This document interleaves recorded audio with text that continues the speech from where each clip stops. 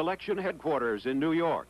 This is the CBS Evening News with Walter Cronkite and Charles Kuralt in the CBS newsroom, Bernard Kalb in San Clemente, Bob Schieffer in Mitchell, South Dakota, Barry Serafin in Towson, Maryland, Terry Drinkwater in Rockville, Maryland, Jeff Williams in Ayrshire, Iowa, Jed Duvall in Cheyenne, Wyoming, Richard Threlkeld in Prineville, Oregon, Bruce Dunning in Cat Lai, South Vietnam, and Bruce Hall in Miami.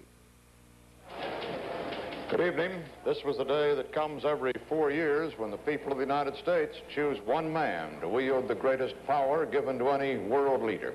And it appears at this hour that they turned out in record numbers to choose today the next president of the United States.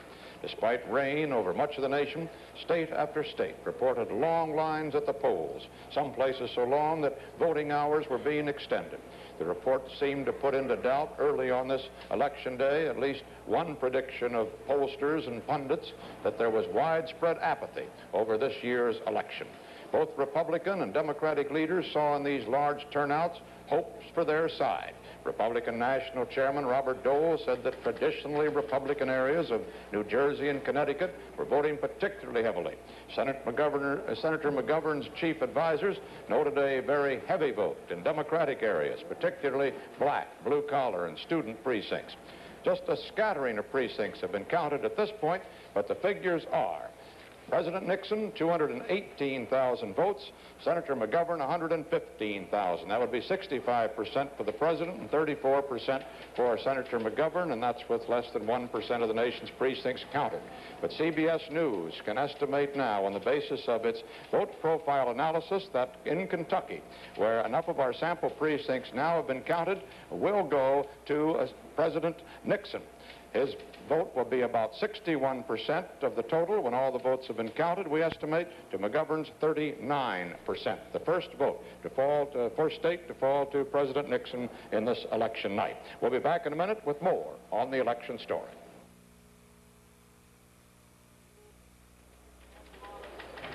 A correction on our estimate on the uh, final vote in Kentucky, where we say that President Nixon will win. The figure will be 65% for President Nixon and 35 for George McGovern, is the way we calculate it here. President and Mrs. Nixon were the first voters to appear this morning at the Concordia Elementary School precinct in San Clemente, California. And then they took a plane back to Washington to await the outcome. Bernard Kalb reports. Some of the local people here at San Clemente turned out early this morning to see a couple of their neighbors vote. The first to vote at Concordia School, Mr. and Mrs. Richard Nixon of San Clemente and the White House. The president projecting an image of relaxed self-confidence as he makes his own personal contribution to the Republican slogan of four more years. They use a paper ballot here, the ballot the size of a newspaper. There are a lot of choices to be made among other things, 22 referenda in California, including everything from decriminalizing marijuana to controls on pornography. There's also the choice of a congressman and the choice of a president. It took Mrs. Nixon about three minutes to check off her decisions. At one point, the president, perhaps because of the unwieldiness of the big ballot, dropped it. The kind of event that is destined to be a footnote to the history written today. By the way, it took the president more than five minutes to check off his selections. A couple of presidential votes here, his and Mrs. Nixon's, about which there is no mystery. Bernard Kalb, CBS News, at Concordia School, San Clemente. George McGovern was in a philosophical mood as his 22-month-long campaign ended.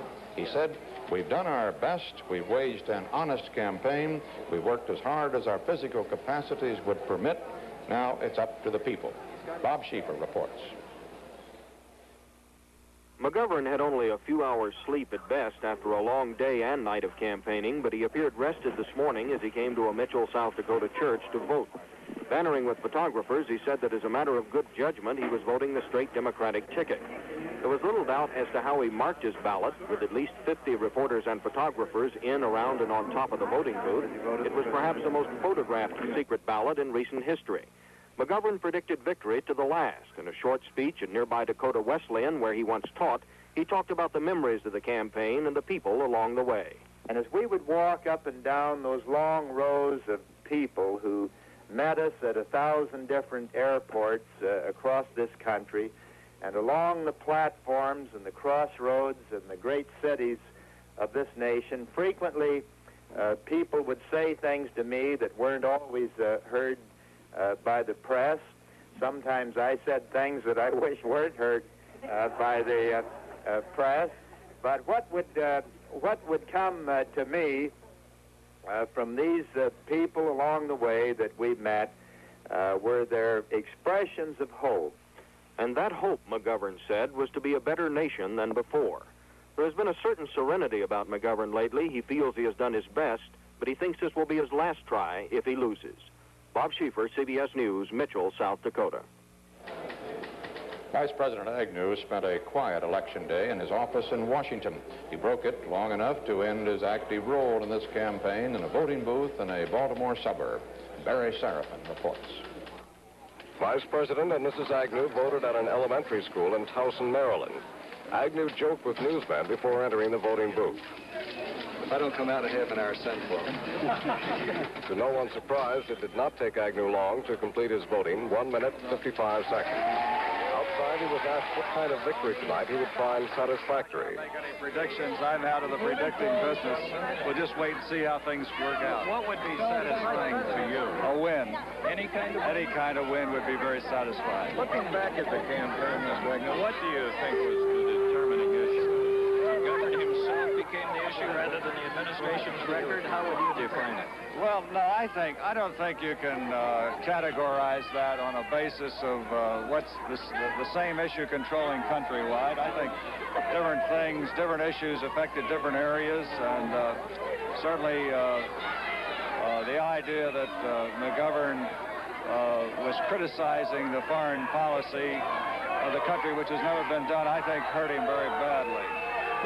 Agnew left to visit his aunt a few blocks away, then returned to Washington, where he will join fellow Republicans tonight for what he expects to be a victory celebration. Barry Serafin, CBS News, Towson, Maryland. McGovern running mate Sargent Shriver, who was the last of the major candidates to return from the campaign trail, also was the last to make it to the polls. Terry Drinkwater reports from a Maryland suburb of Washington. Sargent Shriver went to vote in mid-afternoon. He slept late because his campaign jet didn't return from Texas to Washington until just before dawn this morning. Working to the end for the ticket, there was a little final campaigning at the polls. Shriver trying to change a mind or two. Then a delay for those who wanted autographs. On the way to the booth, a Republican worker handed Shriver a sample GOP ballot. He and his wife, Eunice Kennedy Shriver, already had sample Democratic ballots. No question about which list of recommended candidates the Shrivers follow. The vice presidential candidate himself took a minute and seven seconds to pull all of the levers. Shriver's four sons came along to watch and received a brief civics lesson from their father. They've been along on much of the whole campaign. Shriver said it felt good to be voting for himself. It's the first time that he has ever run for political office and had his name on a ballot. Shriver will watch the returns here at his estate. Then he'll talk to McGovern and finally to the Democratic headquarters hotel in downtown Washington for a statement. Terry Drinkwater, CBS News, Rockville, Maryland. Politicians long have looked to certain areas as the bellwethers of how an election is going. These areas range in size from wards to states. However, throughout history, there have been three counties which always have voted with the winner. Jeff Williams, Jed Duvall, and Richard Threlkeld have reports on those counties. First, Williams in Palo Alto County, Iowa. In November of 1896, most of the people in this town of Ayrshire voted for William McKinley. And in the 76 years since then, they have unfailingly picked the right man for president. George McGovern has some support in this town. The people are mostly farmers and predominantly Democrats. Even so, Nixon is considered a favorite. However, the president does not have an overwhelming lead here, as polls show him having nationwide. Nixon gets considerable organizational support from Mayor Jody Smith. At age 20, Smith is the country's youngest mayor. A firm Republican, Smith seconded Nixon's nomination in Miami. He predicts Nixon will carry the township by about 60%. The farmers are aware of the Watergate affair, but few hold it against Nixon. They write that off as politics. Some are more concerned about Nixon's peace efforts. On one hand, they ask why wasn't it done four years ago? On the other hand, they now ask if peace terms will really be agreed upon. The men don't like to say publicly who they'll vote for, but no one predicts an upset or a break in the town streak of choosing the presidential winner. Jeff Williams, CBS News, Ayrshire, Iowa. This is Cheyenne fashion, this year and every year. Even feet that never slide into stirrups are clad in boots. The railroad built this town. It came west with the expansion of the late 1800s, was here when Wyoming was merely a territory. In 1896, Laramie County went for McKinley. Every four years since, it chose the same man the nation did. The place is anything but burning with political fever, few bumper stickers or billboards, and not everyone wants to talk about it. Nevertheless, there is interest. Voter registration is up to 30,000, a record. A recent University of Wyoming poll gave Nixon a two to one edge and then some. Why Laramie County has always been on the winning side of the presidential votes is a matter of opinion. One official here says it's because the population is mobile and diverse. Some folks say it's a matter of chance, and more than one will grin at you and say, superior judgment. Jed Duvall, CBS News, Laramie County, Wyoming. Crook County, Oregon, population 10,000, makes its living off its cattle and its trees. Either by luck or some kind of electoral sensory perception, Crook County is voted for the winner in every presidential race since Grover Cleveland back in 1884. And although Democrats outnumber Republicans two to one here, Crook County will probably vote this year for Richard Nixon two to one. And with good reason. Lately, the lumber business and the cattle business have been bullish, to say the least. But few voters are all that charmed by the Republican ticket. A lot of them we talked to would have voted for George Wallace if he'd been a candidate. In fact, presidential politics don't even come up in conversation very much. Over at Brownfield's restaurant, the voters are more interested in the jukebox, or hunting deer, or if it comes to politics, the hot race for county commissioner. So for whatever it's worth, looks like Crook County is going to go Nixon by a landslide. And if you want to believe what the pollsters and pundits are saying, looks like Crook County voters will keep their record intact. Richard Threlkeld, CBS News, Prineville, Oregon.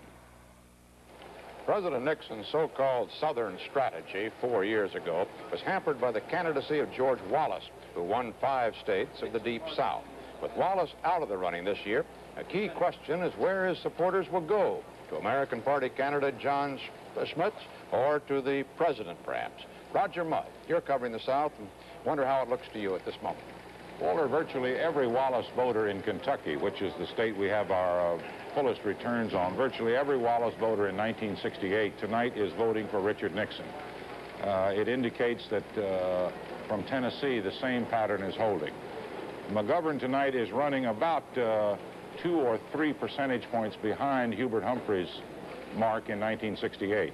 Tonight, uh, the difference is the George Wallace vote from 68 we can take a look at our Kentucky uh, vote profile analysis board. There, as uh, Walter has reported, the uh, ultimate returns show that President Nixon is the winner 65% uh, to 35% for Senator McGovern.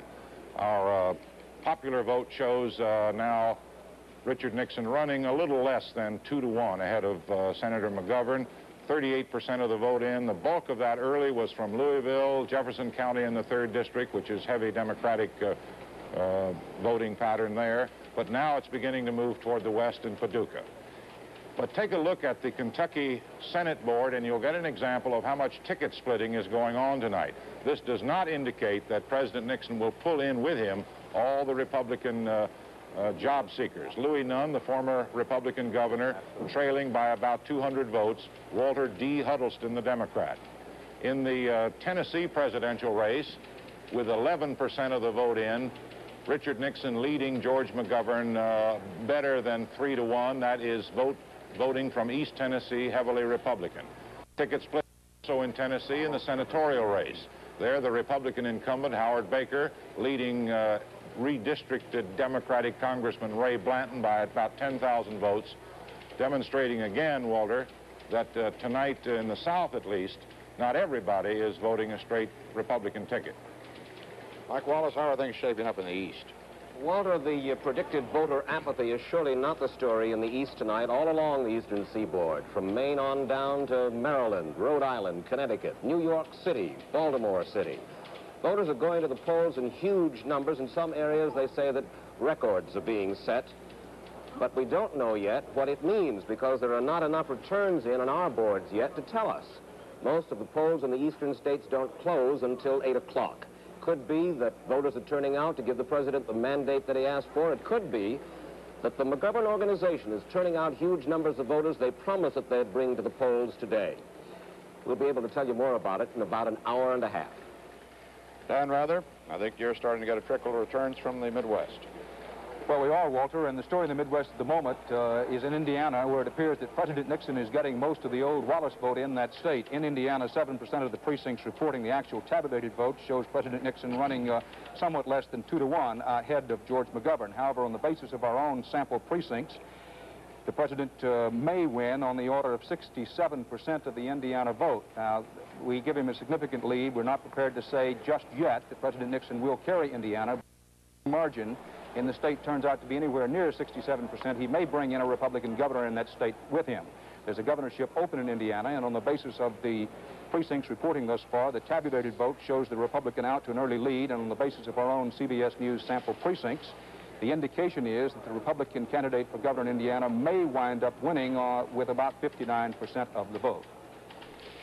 The results so far from a CBS News Election Day survey of almost 7,000, 7,500 voters interviewed as they left the polls across the nation indicates that the anticipated landslide for President Richard Nixon appears to be taking place. CBS News has tabulated its results up to the middle of the voting day for each of the 143 polling places in which the voters were interviewed even taking into account sampling errors and possible changes in voting patterns during the latter part of the day, the findings tend to confirm predictions of a Republican landslide. The survey, in which voters are asked to fill out a secret ballot designating their choices and other information, is primarily designed to analyze voting behavior by various population and demographic groups.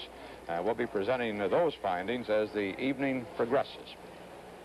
As usual, there are procedural voting foul-ups today, troubles with voting machines and that sort of thing. As a result, there have been court orders extending the balloting time by three hours in Butler County, Ohio, Hudson County, New Jersey, and perhaps some other places that we haven't even heard about yet.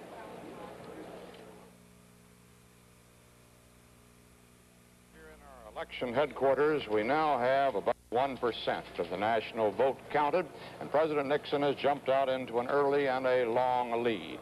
66% of the vote goes to him so far, 50, 546,000 to 272,000 for Senator George McGovern. That, as we said, is a 66 to 33 percent lead, a, uh, a two to one margin for the president with 1 percent of the nation's precincts counted. John Schmitz, the American Independent Party candidate, that was the party on whose ballot George Wallace appeared in 1968. He's got almost 10,000 votes and about 1 percent of the vote. CBS News is able to say, on the basis of our sample precincts, that uh, President Nixon uh, definitely will win in Kentucky and in Indiana. In Kentucky by a 65 to 35 percent margin. In Indiana by an even larger margin, 67 to 33. And that's the way it is up to now, Tuesday, November 7th, 1972. We'll be back at our election headquarters for our continuing coverage in a very few moments.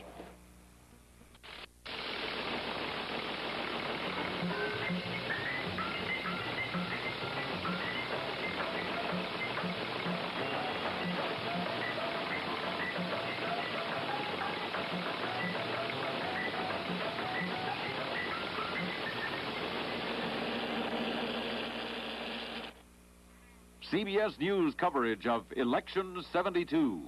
Tonight, the latest returns. This broadcast is sponsored by the Ford Motor Company and 6,283 Ford and Lincoln Mercury dealers. The goal, no unhappy owners. Reporting from CBS News election headquarters in New York, here is correspondent Walter Cronkite.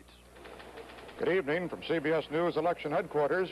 Uh, some or all of the polls have closed now in a dozen states, and the early returns put President Nixon, as expected, out in front and by a sizable margin. These early returns, far too few to be significant, however, nevertheless conform to all of the indicators and all of the polls. Let's take a look at that popular vote with about 1% of the precincts counted. President Nixon has 570,000 votes, and George McGovern 283,000. That's a two to one margin for President Nixon. And CBS News is able to say on the basis of our sample precincts that the president definitely uh, has won Kentucky and Indiana. Kentucky by a 65 to 35 margin, Indiana by an even larger one, 67 to 33. Also, in Indiana, our CBS News estimate is that the Republican candidate for the uh, governorship will win there. He is Mr. Bowen, and he uh, has beaten the former governor, Mr. Welsh. On the electoral vote, President Nixon now has 22 electoral votes from Kentucky and Indiana. He's leading in states with 35 more electoral votes, and that would give him a 57 toward that 270 he needs for re-election. The uh, total vote coming in tonight indicates a very heavy turnout across the entire United States, uh, much heavier than anyone had anticipated when the, uh, the newsmen, the pundits, and the pollsters out across the countryside said they were finding apathy along, uh, among the many states. Reports of the heavy turnout indicate that that vote could very well go above 80 million, and that would be a record. Would have to go above 88 million to be a record in percentage above uh, the previous record established in 1968. CBS News can now say that President Nixon is also a winner in Tennessee. Uh, since most of the state, including the heavily Democratic cities, have not yet reported, the current estimate, though, of 72% for Nixon probably is going to drop somewhat as the polls close in the rest of the state. But uh, the, when all the numbers are in, President Nixon will add Tennessee to his uh, total vote. Across the country, the Nixon landslide seems to be developing about as predicted, but of course there are a lot of other races to be watched here tonight. And how broad and how long will President uh, Nixon's coattails be? Will he carry into office a, a new House of Representatives and a new Senate, Republican for only the third time in the last 40 years? There are 33 Senate seats up this year. All 435 members of the House, of course, are up. 18 governorships are up, too. Besides that, thousands upon thousands of local races for everything from uh, mayor to dog catcher and state offices, of course, as well, and a lot of propositions on the ballot, a lot of uh, uh, referendum uh, type questions being asked. Colorado, for instance, uh, will the Olympics, the Winter Olympics, be held there in 1976? Marijuana legalization is on the ballot in California, abortion in Michigan, that sort of question all across these United States. So there's a lot of reason yet to get out uh, to uh, vote, uh, whether the presidential race seems to be swinging one-sidedly one way or the other. Let's take a look now at all those races around the uh, United States. We have Mike Wallace reporting from the east, Roger Mudd from the south, Dan Rather from the Midwest, John Hart from the West, and Eric Sevareid to analyze the whys and the hows of this uh, big election night. Since most of those early poll closings have come in the South, we'll hear first from Roger. Roger? Walter, the solid South uh, used to be solid. Last time it was solid Democratic was 1944, and since then it's broken apart. But tonight, just looking at our regional map, you can see the building blocks already are going into place for a solid Republican South. Already we have a presidential winner in Kentucky and Tennessee, and uh, early indications are from every poll and every pre-voting sounding that the president would sweep the South, perhaps uh, doing not as well in, in Texas. But tonight already he has picked up two states, Kentucky and Tennessee. The Tennessee presidential race, our vote profile analysis shows that uh, the ultimate count there will be 72-28. That is, uh, as Walter pointed out, uh, basically a, an Eastern Republican uh, vote. That uh, percentage may drop. In the popular vote in Tennessee, with 14% of the vote in, the president is leading uh, better than two to one. But take a look at the uh, Kentucky presidential race. You'll also see there in our vote profile analysis a 65-35 split over Senator McGovern. In the popular vote in Kentucky, with 50% uh, of the vote in, he's leading uh, easily two to one there. In the Kentucky senatorial race, however, Walter D. Huddleston still maintaining just a razor-thin edge over the former Republican Governor Louis Nunn. That's a Republican Senate seat being vacated by John Sherman Cooper, and if the Republicans intend to take over control of the Senate, they cannot afford to lose any seats they now have. That is one of them. And in the uh, Tennessee senatorial race, there is evidence tonight of ticket splitting, not as much as in Kentucky. The incumbent Republican, Howard Baker, with 51,000 and uh, Democratic Congressman Ray Blanton, 38,000. So that race uh, looks favorable for Howard Baker. Busing was an issue there, but uh, all indications are that Senator Baker has been able to overcome the charges by Ray Blanton that he uh, was responsible for the appointment of a federal judge who ordered busing around Nashville. So, Walter, uh, we're off this evening already with uh, two states in the South, and I dare say as uh, we look at that map through the evening, that dark uh, Kentucky, Tennessee block will spread all the way to the Gulf. CBS News coverage of Election Night 72 will continue in a moment.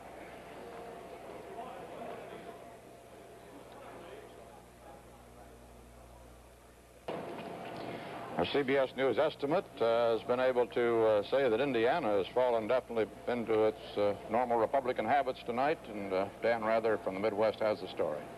Walter, as you know, Indiana is considered the most southern of the Midwestern states, one-time bastion of the Ku Klux Klan and a traditionally Republican state. No surprise that uh, CBS News estimates that President Nixon has carried Indiana.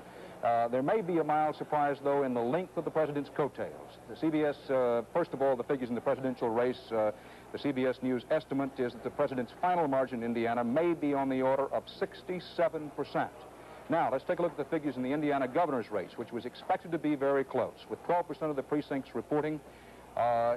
This is the president's uh, margin over George McGovern, but since uh, our CBS News estimate is that uh, the president's winning margin will be on the order of 67%, those figures don't mean a great deal, except they do reinforce the idea that the Nixon sweep is running very deep in Indiana.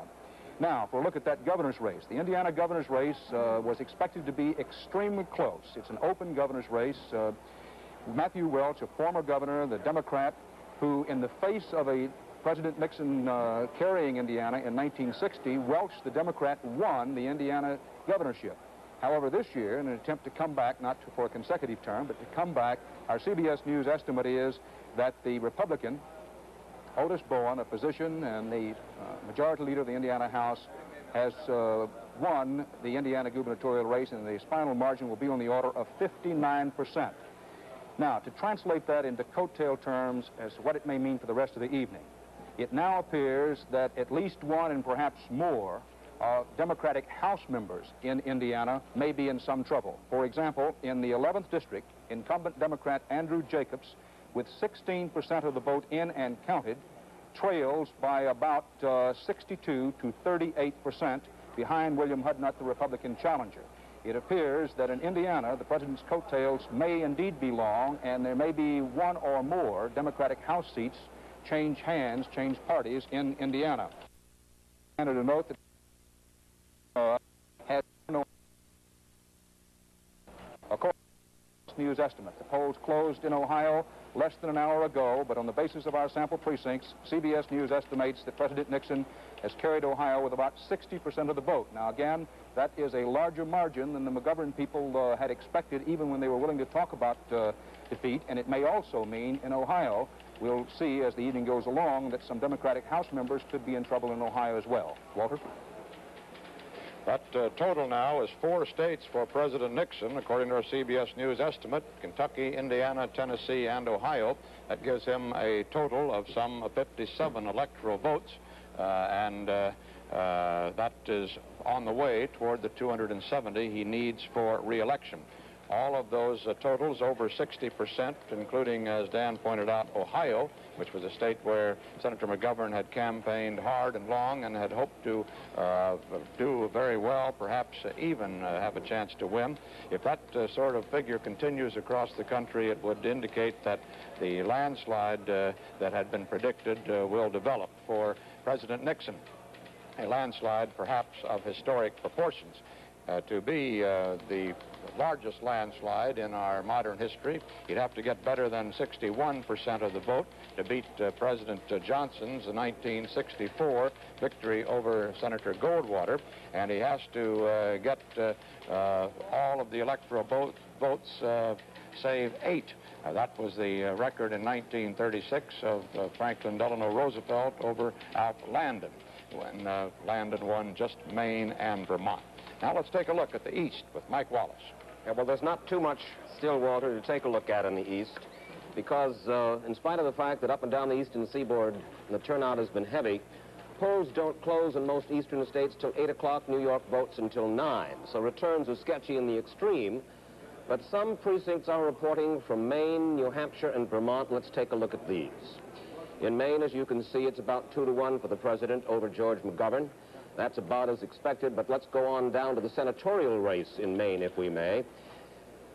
Mrs. Margaret Chase Smith, who is 74 years old and running for her fifth term, may be in for some trouble tonight from her Democratic challenger, Congressman William Hathaway, who is 48 and has made age, Mrs. Smith's age, an issue in this campaign. That and her aloofness from the main scene. As a matter of fact, uh, Mrs. Smith was said to be slightly miffed because the newspaper, the weekly newspaper for which she used to work back in Maine, uh, came out with an editorial against Senator Margaret Chase's fifth term. They said it was time for a change. Bill Hathaway had expected, when he announced his candidacy, that he was going to be running on the coattails of Ed Muskie, who at that time was going to be the presidential candidate, he thought. When the Muskie candidacy went down in the primaries, so did Bill Hathaway's, it was thought, but it's conceivable Late polls show that uh, Senator Smith and Bill Hathaway are running about neck and neck, have been in the polls in the state of Maine. Let's move over to New Hampshire, where 2% of the precincts are reporting. As you can see, the president is leading by about 2 to 1 in that state, too. There is a tough race for Senate in New Hampshire. Senator Thomas McIntyre, the Democrat incumbent, running for his second term, leading uh, uh, Wesley Powell, two-term governor of the state of New Hampshire, but just barely at this moment. Powell backed by William Loeb, the publisher of the Manchester Union Leader. Powell doesn't like Richard Nixon, and Richard Nixon reciprocates the feeling. Uh, Mr. Powell called uh, the president's trip to China a kind of sellout, although he changed his, uh, changed his point of view uh, about two or three weeks ago when Vice President Agnew showed up in New Hampshire. That's going to be a tough race. For a gubernatorial race with 2% of the precincts reporting in New Hampshire, we see a fellow by the name of Malcolm McLane leading. Leading Meldrim Thomson, the Republican candidate. Thomson's a conservative. Roger Crowley is a conservative. Thompson is supposed to be the leader. Malcolm McLane has 98 votes. We're told that they all come from Waterville Valley, the center of ski territory in New Hampshire. And uh, Malcolm McLane, the mayor of Concord, New Hampshire, is chairman of the U.S. Olympic Ski uh, Committee, and those votes are ski enthusiast votes. Finally, in Vermont, Mr. Nixon leading by about three to one, with 1% of the votes counted in Vermont.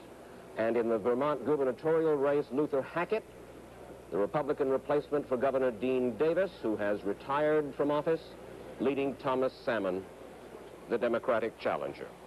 Sketchy returns, as you can see, Walter, from the east still. Popular return now gives President Nixon 773,000 votes, George McGovern 367,000. Uh, the percentage lead for President Nixon now with 2% of the nation's precincts counted has widened, 67% to 32 as the landslide seems to be developing as predicted. CBS News coverage of election night 72 will continue in a moment. Yeah, what program?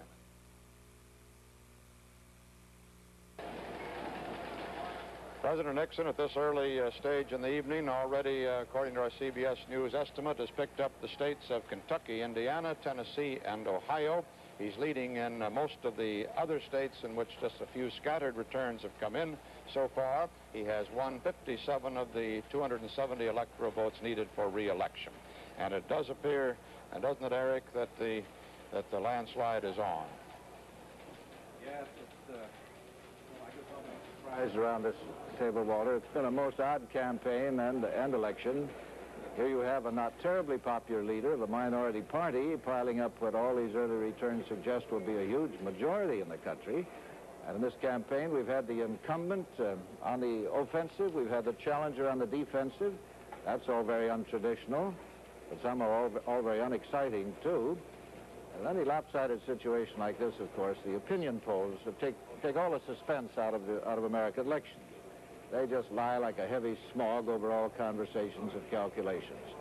A close finish tonight, if any miracle like that happened, uh, would do a lot to restore a little more uh, uh, innocent faith in the unpredictability of the ordinary and independent American citizen. Anyway, it might cut the pollsters down to human size a little more. A landslide victory, I suppose, is anything from about 56% of the popular vote on up. That's as good a figure to pick out of the air as any. There have been 10 landslide victories since the Civil War. In nearly all of them, the uh, winning presidential candidate has brought in uh, shoals and coveys of party senators, representatives, and governors, but maybe not tonight. And it's the Senate races that uh, bear the watching.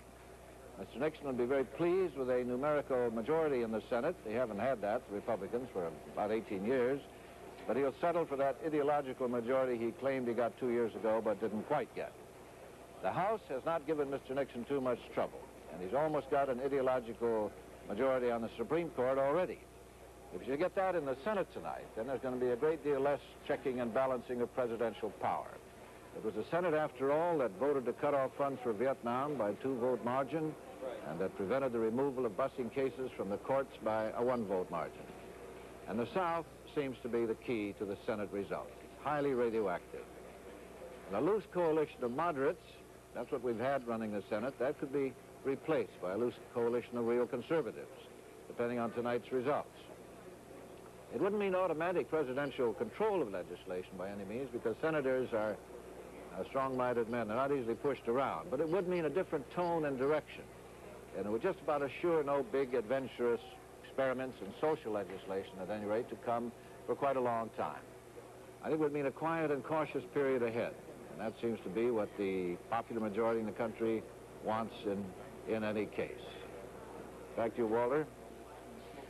John Hart uh, is covering the West for us, and uh, while we're not getting any results, of course, out there where the polls are still open and will be for quite a while yet, what should we be looking for in the West, John? Well, we're looking for some very fascinating propositions in California, Walter. As you indicated earlier, they're voting on marijuana, whether it will be legal to grow it, own it, carry it, but not to sell it. Colorado is also voting on some radical propositions, whether or not to reduce the income, that is the property tax by 60% and as much as double the most expensive taxes of the large corporations. The polls don't close in California, the state that George McGovern says he needs in order to have any chance of winning for another three and a half hours. But, Walter, we can report this news. Pine Valley, Utah, population 75, went for Richard Nixon 12 to 1. That moderates the importance of that news because we have to tell you they usually do that. Well, the, the, places that usually do that are certainly doing it across the country as we get these reports from uh, the smaller precincts and some of the more uh, unique names around the country. Uh, and uh, also some of those that don't normally do it seem to be doing it this year. That is going Republican, at least on the presidential side. What we're going to be watching as the evening develops, of course, is the effect of that coattail vote. Uh, will the president carry with him uh, the uh, the five extra Senate seats he needs to gain control of the Senate. That's assuming that Vice President Agnew will be there to vote any, uh, to cast any uh, deciding votes in a tie. Uh, six votes for the Republicans, six additional seats would give them uh, undisputed control of the Senate. They need 39 seats uh, in addition to holding on to the ones they've got in order to win the House. Actually, uh, the in some one-third, better than a third of the elections over the last hundred years, 50 elections, 18 times, more than that number of seats have changed hands in the House. So the Republicans have a chance to do it. To sum up, the first indications we have tonight are that the pollsters are right. President Nixon appears headed toward an overwhelming reelection victory. Mr. Nixon so far is running far in front of George McGovern and adding to his margin by picking up most of George Wallace's 1968 vote. Fairly shortly now, if present trends continue, we'll start being able to gauge that coattail effect That is, how many Republicans will Mr. Nixon be able to pull along with him into the Senate, the House, governor's mansion, and so forth. All of this lies ahead tonight. Right now, the latest from our local stations on races in your area. This is Walter Cronkite at CBS News Election Headquarters.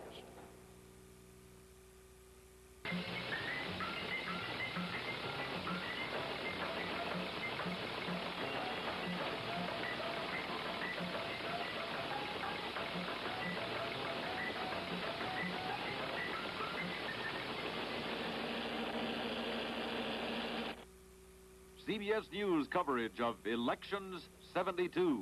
Tonight, the latest returns. This broadcast is sponsored by Paine, Webber, Jackson, and Curtis. We help you know about investing. Reporting from CBS News election headquarters in New York, here is correspondent Walter Cronkite. Well, the polls have closed in some 10 states across the United States by now. 20% of the polling places are closed by state at any rate. And after the most expensive campaign in American political history, uh, it appears to have availed the Democrats, as far as the presidency goes, at any rate, very, very little. The landslide seems to have developed uh, very early for President Nixon. We uh, have seven states, according to our CBS News estimate, uh, that uh, we can say definitely are in President Nixon's uh, camp tonight, and others, many others, are leaning that way. We have, in just the last few minutes, been able to estimate that President Nixon will win in Florida by some 66% of the vote there, that he uh, has won in Georgia. The exact figure we don't have as yet on our estimate. He will win in Alabama also, that figure to uh, come along. Before uh, these uh, three uh, decisions were made, we could uh, say also that he had won Kentucky, Indiana, Tennessee, Ohio. Uh, so with those seven states, President Nixon has 95 of the electoral votes needed toward that 270 magic figure, which puts him over the top for a re-election. The actual count of the popular vote so far, with about 3% of the nation's vote in, President Nixon has gone over the million figure, 1,125,000. That's 67% of the vote. George McGovern, 538,000, 32% of the vote. John Schmitz, the American Independent Party candidate, 18,000 votes, or about 1%. There are, as you also know, some uh, 11 other uh, minor parties that are on the ballots in various states, uh, everything from the Communist Party to the Universalist Party. Universalist Party is on the ballot in one state. Its platform is to make flying saucers more respectable, apparently. Uh, and uh, those votes will be tabulated a little later on. For a report from Nixon headquarters now at the Shoreham Hotel in Washington, let's go to Dan Schorr. Yes, well, about 3% of the vote. That's in terms of what you know, but in terms of the rosy predictions here, there have been briefings in which Herbert Klein, the White House Communications Director, has said that he expects 48 states for President Nixon. Uh, the only ones he said were in doubt were Massachusetts and West Virginia. And Harry Dent, the White House Southern strategist, said no, West Virginia is going to be in, which makes 49. They attributed this to the uh, landslide, uh, to the whole um, uh, large turnout at the polls. They expect to have as many as 85 million votes, which is considerably better than the 73 million in 1968 and the 70.5 million in 1964. One interesting thing, Harry Dent says that he expects that after the election, several Southern senators and congressmen will switch their affiliation to the Republican Party so that if the Republicans don't pick up the necessary seats to organize Congress, they'll be able to do so by some switches. He wouldn't mention names. He denied there were any deals. Could be Senator Eastland, could be Senator Byrd of Virginia, now independent.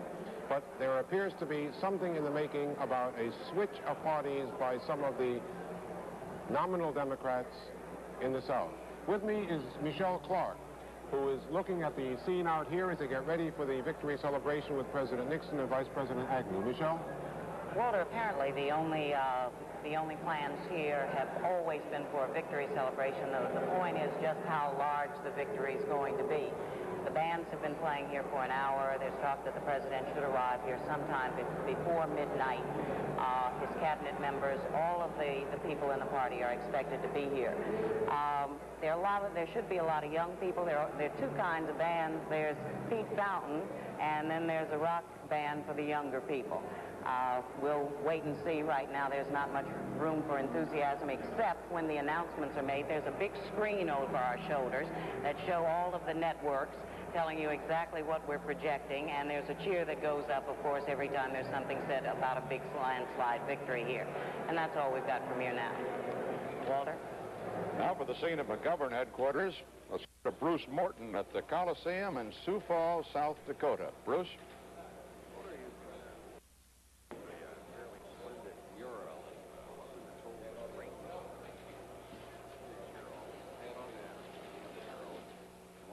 For election night, and uh, once they volunteered to do all the artwork, why a couple of local families uh, volunteered to put them up.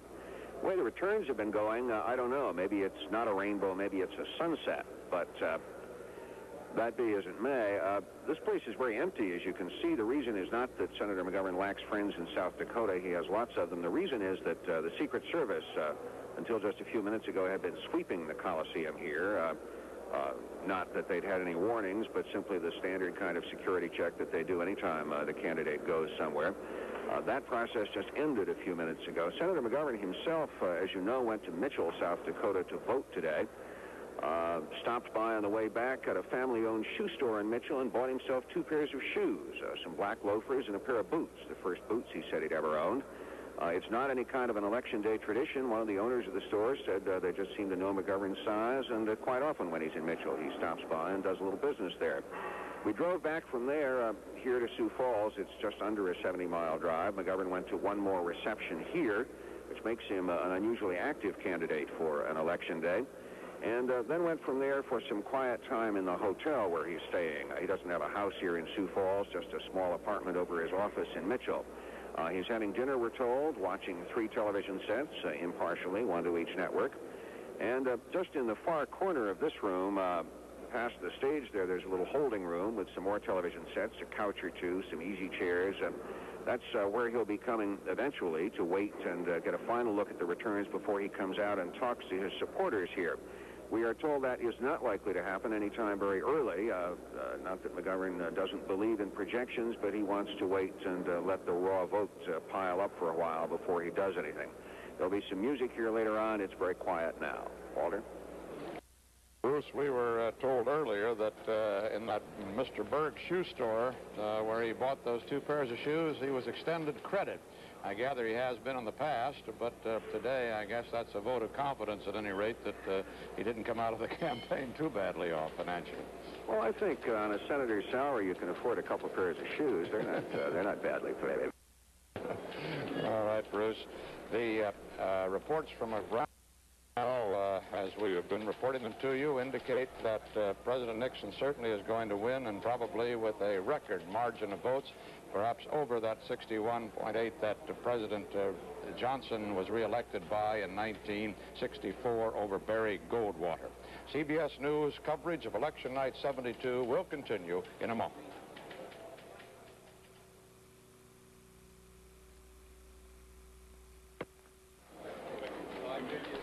We might emphasize here that uh, the figures we've been posting so far are preliminary ones. Our CBS News estimates are derived from selected sample precincts across the country. The voting and counting of those votes is far from over uh, across the United States as a whole. State and local offices, many public questions often are decided by very small margins, so we urge you, if you can still vote in your state, your area, uh, why you ought to go out and do your duty and do so. Now let's go to the south uh, and a report from there. Roger Mudd. Walter, uh, since we last left you, our uh, solid south was uh, two states solid to the Republicans, and it's grown since our last report, and now uh, you can see the difference uh, with the addition to President Nixon's column of Alabama, Florida, and Georgia. So already in the South, he's picked up five of those 13 states. Just reading quickly, at our vote profile precincts in the South.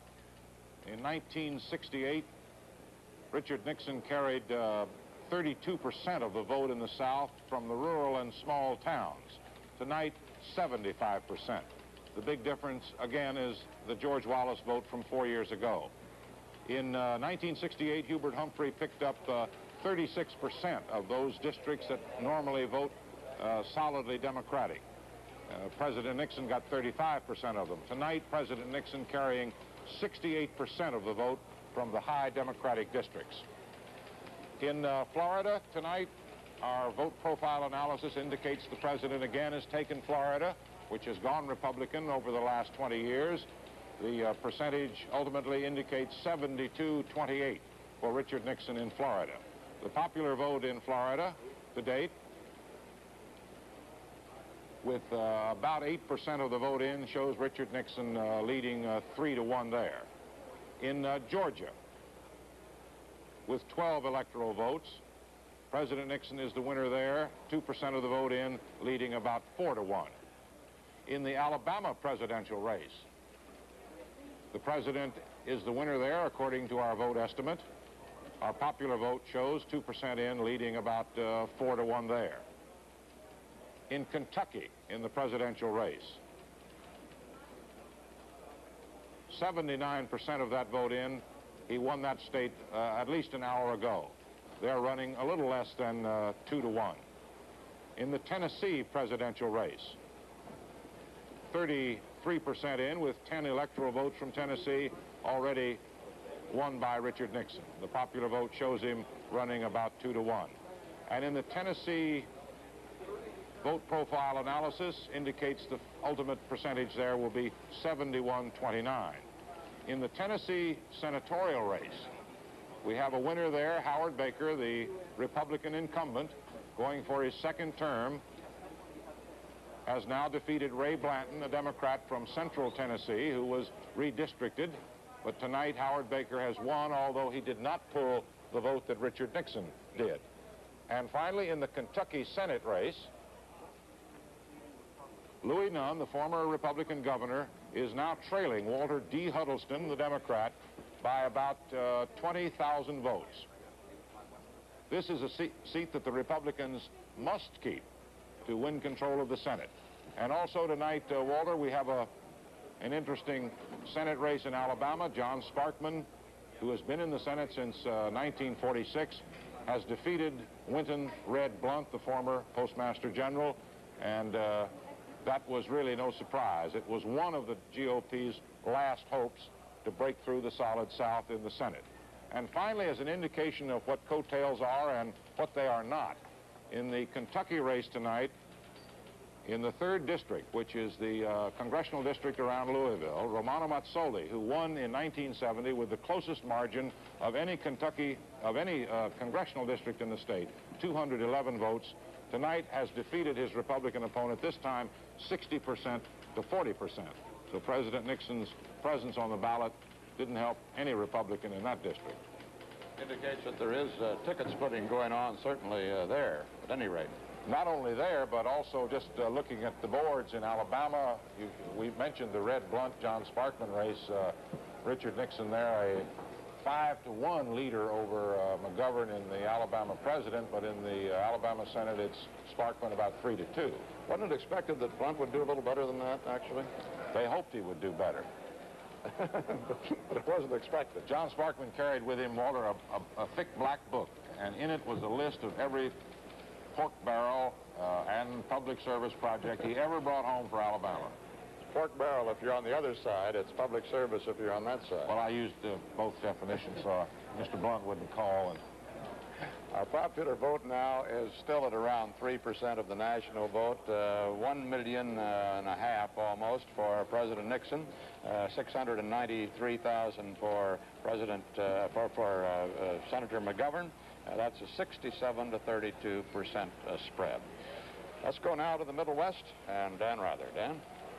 Walter, Ohio and Indiana are the stories in the Midwest at the moment. In Ohio, our CBS News uh, estimate is that President Nixon uh, has carried Ohio. This is with 4% of the precincts reporting. That was the uh, vote in and tabulated. But our CBS News estimate is that President Nixon uh, has won Ohio with uh, something on the order of 61% of the vote. Now, and an analysis of how that happened, uh, according to our close look at our own sample precincts, runs this way. President Nixon in Ohio is doing uh, roughly 16% uh, better this time than he did in 1968, mostly on the basis of getting virtually all of the old Wallace votes and a few more votes than he got the last time in the suburban areas. Now, George McGovern is uh, running in Ohio about 4% behind the totals of uh, Senator Hubert Humphrey in 1968. It's rare that anyone wins the presidency without carrying Ohio, and President Nixon has not only won Ohio, but he has done it uh, in devastating fashion, if our CBS News estimate is correct. Interesting enough, in Ohio, as is the case uh, in Indiana, President Nixon running better in the uh, uh, black communities uh, than he did in 1968, coming close to doubling his margins in the black communities of Ohio. That on the basis of very early returns, although to repeat for emphasis, uh, CBS News estimates that President Nixon has won the state of Ohio. In Indiana, as we told you a bit earlier, President Nixon uh, apparently has won Indiana with 27% of the precincts, and uh, he has uh, a margin of better than, uh, well, about 3 to 1 over George McGovern. But our CBS News estimate in Indiana is that President Nixon's uh, final total in Indiana will be on the order of 67%. Now, in the Indiana governor's race, uh, a coattail effect uh, possibly there, although some thought that the Republican Otis Bowen, uh, the Speaker of the Indiana House, and a physician would take that race anyway. But in the Indiana gubernatorial race, with the, our CBS News estimate is that uh, Bowen's final total may be on the order of 59%. I know with all these figures uh, coming at you, percentages, sample precincts, and what have you, it's very hard to keep this in any kind of perspective. But if what has happened in Ohio and Indiana holds uh, for the rest of the Midwest, it's far too early to say that it will, but uh, particularly with Ohio, you've got some indicators that it may. Uh, what you may see here is President Nixon winding up with an all-time landslide margin. That's uh, the outer perimeter of what we're dealing with in the Midwest based on these uh, sample precincts in Indiana and Ohio because the president is running extremely strong in the suburban areas. In some suburban areas of Ohio, the president carried by better than 70%. He's running uh, double what he did before in black communities. The only two areas uh, in terms of voter demographics in Indiana and Ohio that George McGovern did well in were uh, low-income areas, very low-income areas, and, in the black community. While we say that George McGovern did uh, not as well in the black community as uh, Hubert Humphrey did, still those are the only two areas in Ohio and Indiana that he's carrying. If this holds, what we may be seeing in the Midwest, Walter, is not just a landslide, but the beginning of a glacier. the, uh, well, of course, what President Nixon would like would be uh, landslide uh, proportions to give him a record, and that would uh, take over 61% of the vote. Uh, President uh, Johnson got 61.1%, I believe it was, in 1964 over Senator Goldwater. We can now say, uh, on the basis of our CBS News uh, sample precinct uh, analysis, that President Nixon has won in Virginia. Another southern state falling to him, so that uh, the uh, southern South, the solid South, once solidly Democratic, looks this year, as Roger Mudd has told you before, solidly Republican. CBS News coverage of Election Night 72 will continue in a moment.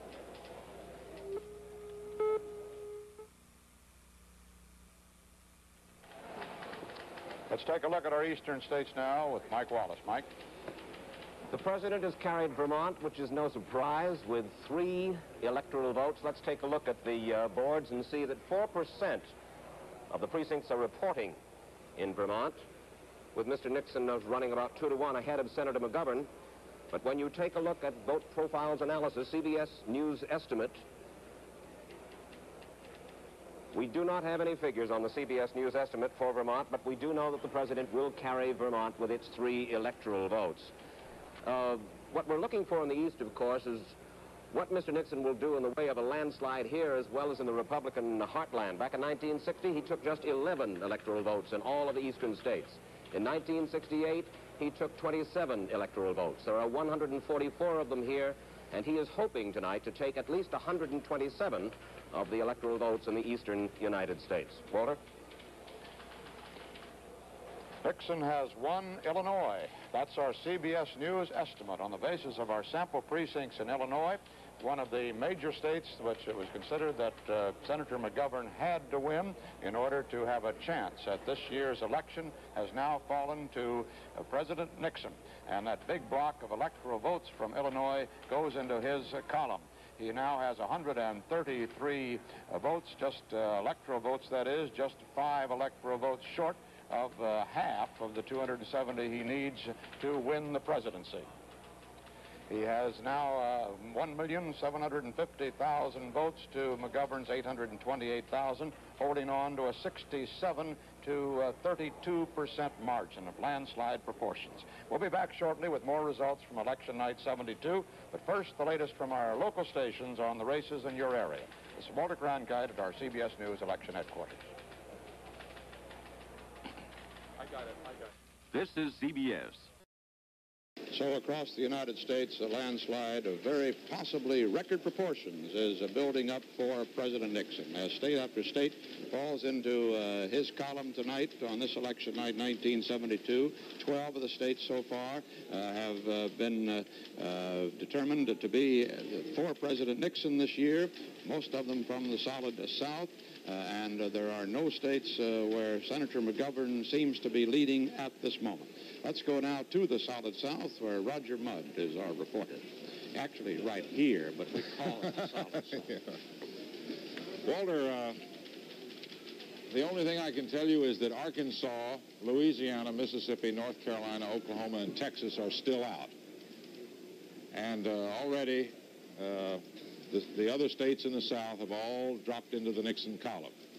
So that uh, now we can say that uh, with uh, South Carolina, our latest call, 10% of the popular vote in, Richard Nixon there, uh, 4 to 1. Our uh, South Carolina state gives us eight electoral votes.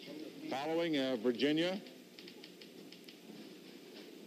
our vote profile analysis in Virginia indicates uh, the president will win there 70% to 30%. Virginia has long been a Republican state breaking away from the Democrats back in 1952. The popular vote in Virginia now, with about 6% in, shows the president uh, a little under 30,000, George McGovern about 15,000. So the, the message is from all of this, uh, if this is such a landslide, will he bring uh, Republican senatorial candidates in the South with him? That had been the hope of the GOP, but the answer is tonight that he will not.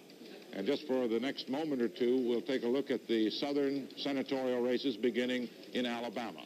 There, the uh, five-term incumbent, John Sparkman, the Democrat, has won re-election.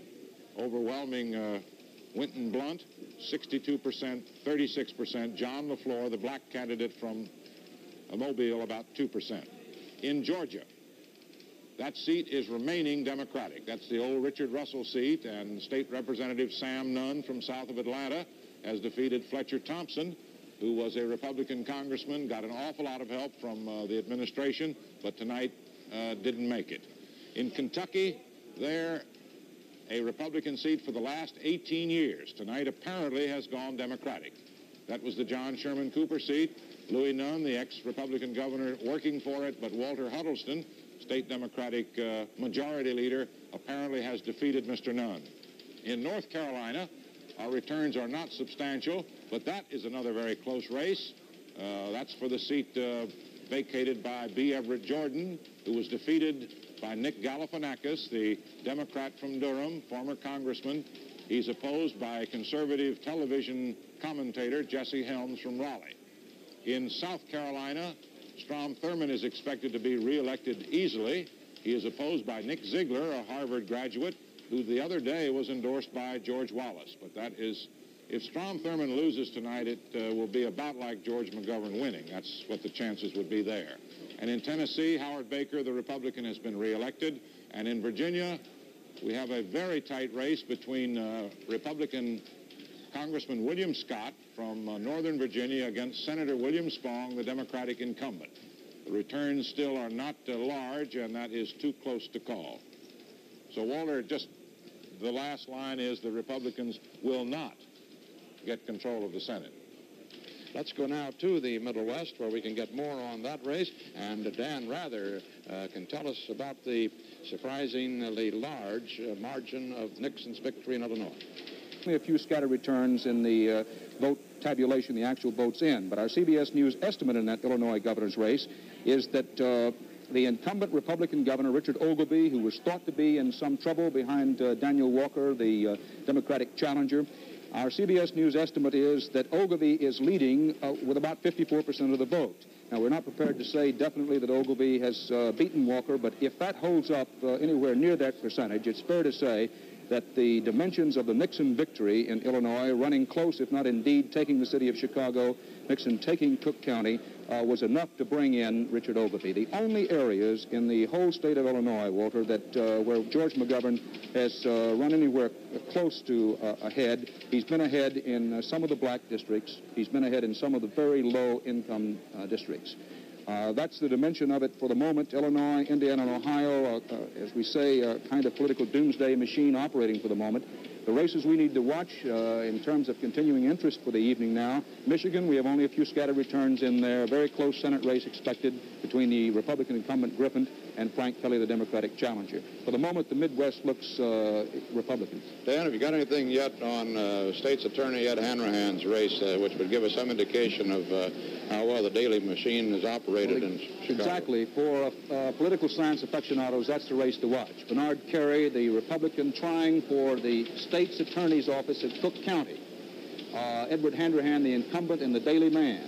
The Daley machine went in operation for George McGovern primarily to get Edward Hanrahan elected. Now, we don't have enough returns to uh, even talk uh, knowingly about how that race is going because they count those votes late. But with the dimensions of the Nixon victory in the uh, Cook County area, uh, it could well be that Hanrahan's in trouble, and if he is, that's real trouble for the machine. Walter, also, I'm just told that we have the first incumbent, Democratic incumbent in the Midwest in the House, uh, defeated. Incumbent Democrat Andrew Jacobs in Indiana's 11th district uh, apparently has been beaten by the Republican challenger William Hudnut, and I think it's fair to say that that's a coattail effect. Uh, Jacobs' district had been, uh, he had been redistricted, and he was thought to be in uh, some difficulty, but the dimensions of the Nixon victory in Indiana were so large as to send uh, Democrat Congressman Andrew Jacobs down to defeat. That knocks one of the uh, liberals out of the House uh, leadership structure. I mean, he was down the ladder away, but he was in that group.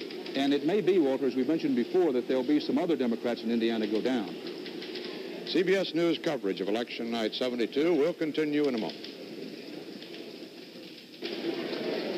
Worst beating ever taken by a Republican presidential candidate or any presidential candidate uh, in the last 135 or 40 years uh, was that administered to Alf Landon in the 1936 presidential race by Franklin Delano Roosevelt running in his first uh, reelection campaign. That's as far as electoral vote goes because Alf Landon carried just two states, Maine and Vermont, with a total of eight electoral votes.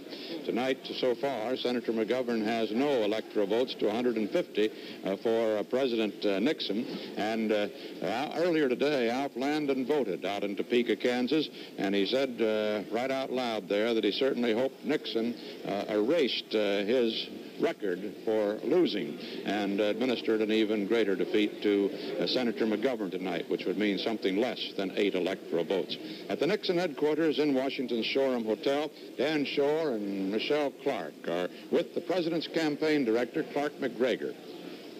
Uh, the first thing that we must report to you is that tonight, in about three hours from now, between 11.15 and 11.30, President Nixon and Vice President Agnew will be here to take part in the celebration of the Republican workers. As I understand it, they will be here whether or not Senator McGovern has conceded by that time. It's some question as to whether a concession from Senator McGovern at this point is even necessary. The fact of a landslide is there. What remains only to be determined are the dimensions of that landslide. Clark McGregor, who took over this campaign from John Mitchell, has been poring over figures with a big smile on his face and wants to give us some idea of what this landslide means. Well, one of the things uh, that's very encouraging to us is uh, the pattern of voting in uh, the city of Cleveland and in Cuyahoga County, the area around the city of Cleveland, including the city. Mayor Ralph Perk has been on the phone to me, and uh, Cleveland, in many ways, and its immediate suburbs, is a microcosm of urban America, and it's going for the president by more than 60 percent, which uh, is better than any of us had hoped. And it does indicate a strong uh, vote of uh, confidence in the president's leadership, which means a great deal to the president in terms of uh, his capacity for accomplishment in the next four years. Mr. McGregor, earlier today, Herb Klein said 48 states, but he was still questioning Massachusetts and West Virginia. Walter has given indications already that uh, West Virginia may very well make it 49. How many states do you think uh, the president will win in terms of electoral votes? We have a lot of states to hear from in uh, the mountain states and the west coast, but uh, the president's support has been fairly uniform nationwide, and it does appear to me as though the president will win 49 states. Polls in Massachusetts just closed 20 minutes ago. We won't get meaningful returns from Massachusetts for 10 or 15 minutes. I think it would be uh, almost impossible for the president to carry Massachusetts, but he might do it. Mr. McGregor, one of the questions before has been uh, what kind of president President Nixon will be if he gets this, this landslide vote of confidence you've been talking about. What do you think? Uh... Well, uh, I don't think that you can uh, describe the second Nixon uh, presidency in ideological terms. I think you'll find it's more uh, pragmatic, it's problem solving. I think he'll be um, he'll be free to, with a strong vote of support that he's received, to look at the various options, pick out a solution that really works, and affect change that works. The president's favorite phrase in terms of progressive or constructive change is change that works. And I think you'll see that applied to every problem. Will there be more emphasis on domestic issues than foreign policy? That's one of the things that's been speculated. Not necessarily, but he'll be more effective in his domestic uh, policy leadership because the Congress will be more responsive to his initiatives. While the, uh, while the uh, victory for the president seems clear, it does not seem as though uh, the Republicans are going to win Congress. Will there be an effort to get some of the Democratic senators, say, to switch in order to be able to organize the Senate? Well, we'll have to wait and see. Uh, I think a lot of them are going to feel uncomfortable when their states have gone three or four or five to one for Richard Nixon. We've tabulated answers from some 8,200 voters. We tabulated answers from some 8,200 voters. Uh, CBS News uh, questioned uh, as they left the polls today. Uh, that as of the middle of the day, our figure showed something like this of those people we questioned. About 10% of the 8,200 were blacks, and we found that the black vote was going 4 to 1 for McGovern. Jobless voters in those same surveys were going 50 to 47 for McGovern, not a very large margin there for uh, McGovern, who uh, had based a lot of his appeal on the underprivileged and the jobless in the country. But in most other categories, it certainly looks like a Nixon sweep. Among uh, the whites, uh, the old people, even the youth, they're not going heavily for McGovern. According to our survey, that was running only a couple of percentage points in favor of Senator McGovern. It was an area where he had hoped to win a very large indeed. Blue-collar voters, 16% of our sample, went 57 to 40 for the president. White-collar voters, one-third of our sample, lined up exactly 2 to 1 for the president. Mr. Nixon was winning the over 65 vote in our survey by more than 2 to 1. The Catholic vote so far stacking up 56% to 43% for Nixon, and uh, that had uh, always been a heavy uh, Democratic area uh, for the last uh, uh, 44 years at any rate. The uh, President Nixon is losing, however, the Jewish vote, according to our sample at the polling booths among voters we sampled, and by a margin of almost two to one.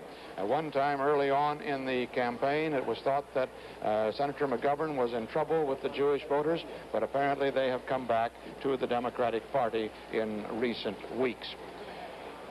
We now can add Maryland to Senator uh, uh to President Nixon's list of states one and that gives uh, President Nixon 185 of the electoral votes needed to toward the uh, uh, toward the 270. Uh, rather, that figure should be 212. Excuse me, I did not add Maryland in. With Maryland in, it's 212 votes now for President Nixon. Uh, he is not very far away from the 270 he needs for election to his second term a man who uh, won uh, his first term uh, with a not even a majority of the votes. Looks like he's going into his second term with a, a popular majority heavier than any man in American history, excepting only George Washington in his the third terms he ran as our first president. In the Senate, uh, however, there have been no changes as yet uh, so far.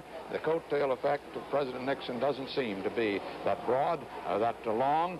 Uh, there have been five uh, Republicans elected so far and three Democrats. It looks like the makeup of the Senate, if this trend continues across the country, will be about what it was before. The Republicans will not pick up the five votes they need uh, to gain control of the Senate. Much the same is happening with some very scattered returns in the House so far. And now another one of those big states has fallen to uh, President Nixon. It is Pennsylvania, and with a very high majority for President Nixon, 62 to 38 uh, for the president. Pennsylvania. Uh, those uh, state, uh, those votes from uh, Pennsylvania now go into uh, the president's column. There are 27 of them. That'll give him 239 toward the 270 needed. Uh, he is only 31 votes away from re-election. CBS News coverage of election night 72 will continue in a moment.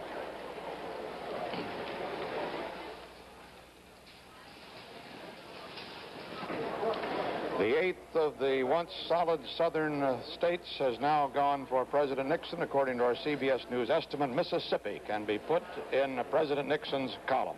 Uh, Strom Thurmond uh, once ran as the president, uh, presidential candidate on the states' rights ticket in 1948, which may have started the Republican landslide toward the Republicans of this year, has won his uh, Senate race for re-election to a fourth term in South Carolina. And uh, President Nixon has won Kansas, as expected, but with a very high majority, 69% to 31% for McGovern. That's the 18th state that uh, President Nixon has won. Uh, his electoral vote is mounting very close to the 270 he needs for re-election. Let's go now to the east, and Mike Wallace. Kent. Mike, I called upon you. Forgive me, Walter. Let's take a look at uh, what has happened in Pennsylvania, New Jersey, and Connecticut in those presidential races, and we'll begin to understand the dimensions of the president's sweep in the Northeast, where, as I said a little bit earlier, his high point has been 27 electoral votes up to now. Just in those three states, he takes uh, something over 42 electoral votes. Pennsylvania, first of all. You can see that only 2% of precincts are reporting, according to the tabulated vote, 45,000 to 24,000. But CBS News estimates that when all the votes are in in Pennsylvania, the president will have won by a whopping 62% over McGovern's 38%, and his coattails are bound to make some difference in congressional races in that state. There is no senatorial or gubernatorial race there. Let's go to New Jersey with 15% of the precincts reporting, 150,000 to 75,000 odd. But when all the votes are in, CBS News estimates that in New Jersey, 62% for Richard Nixon, 38% for George McGovern. And there are two congressional seats in particular, those of Congressman Helstoski and Congressman Howard, Democratic congressmen who are in serious trouble, obviously, in New Jersey. And finally, in Connecticut. Connecticut is bound to be one of the most democratic states in the nation.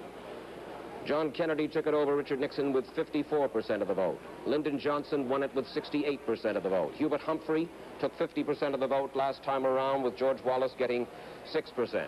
With 12% of the precincts reporting at 62,000 to 47,000, but CBS News estimates that when all the votes are in, it'll be a 60-40 win in Connecticut for President Nixon, and no one had suggested that it was going to be that big. Now let's take a look at how those votes are being put together. Let's start with Connecticut, where we just were. In high Democratic areas, high Democratic areas, the president is running 23 points ahead of his run against Hubert Humphrey. In moderate Democratic areas, he's running 25 points ahead of last time. In blue-collar areas, 26% ahead. In white-collar areas, 16%. Now, Connecticut is a ethnic state, labor state, blue-collar state, Catholic state. Mr. Nixon is obviously running well ahead of where he was four years ago in all of those, with all of those groups. The same thing is true with Pennsylvania. In moderately Democratic areas in Pennsylvania, he's running 25 points ahead of last time. High Democratic areas, 8 points ahead. Low income, 12 ahead. Mid income, 14 ahead. Blue collar, 17 ahead. White collar, 10 points ahead. And of course, the same thing is true in New Jersey. He won New Jersey the last time around. Incidentally, in New Jersey, CBS News estimates that uh, Clifford Case has been returned to the Senate. No surprise there, with something over 60% of the vote against Paul Krebs. Incidentally, on that one, Paul Krebs was at one time president of the uh, CIO in New Jersey, and yet the state AFL-CIO, the state AFL-CIO endorsed Clifford Case this time around. There is only one place in the East up to now were the president's coattails, where the president's coattails perhaps are not working as well as they had been expected to. No, wait a moment. They are.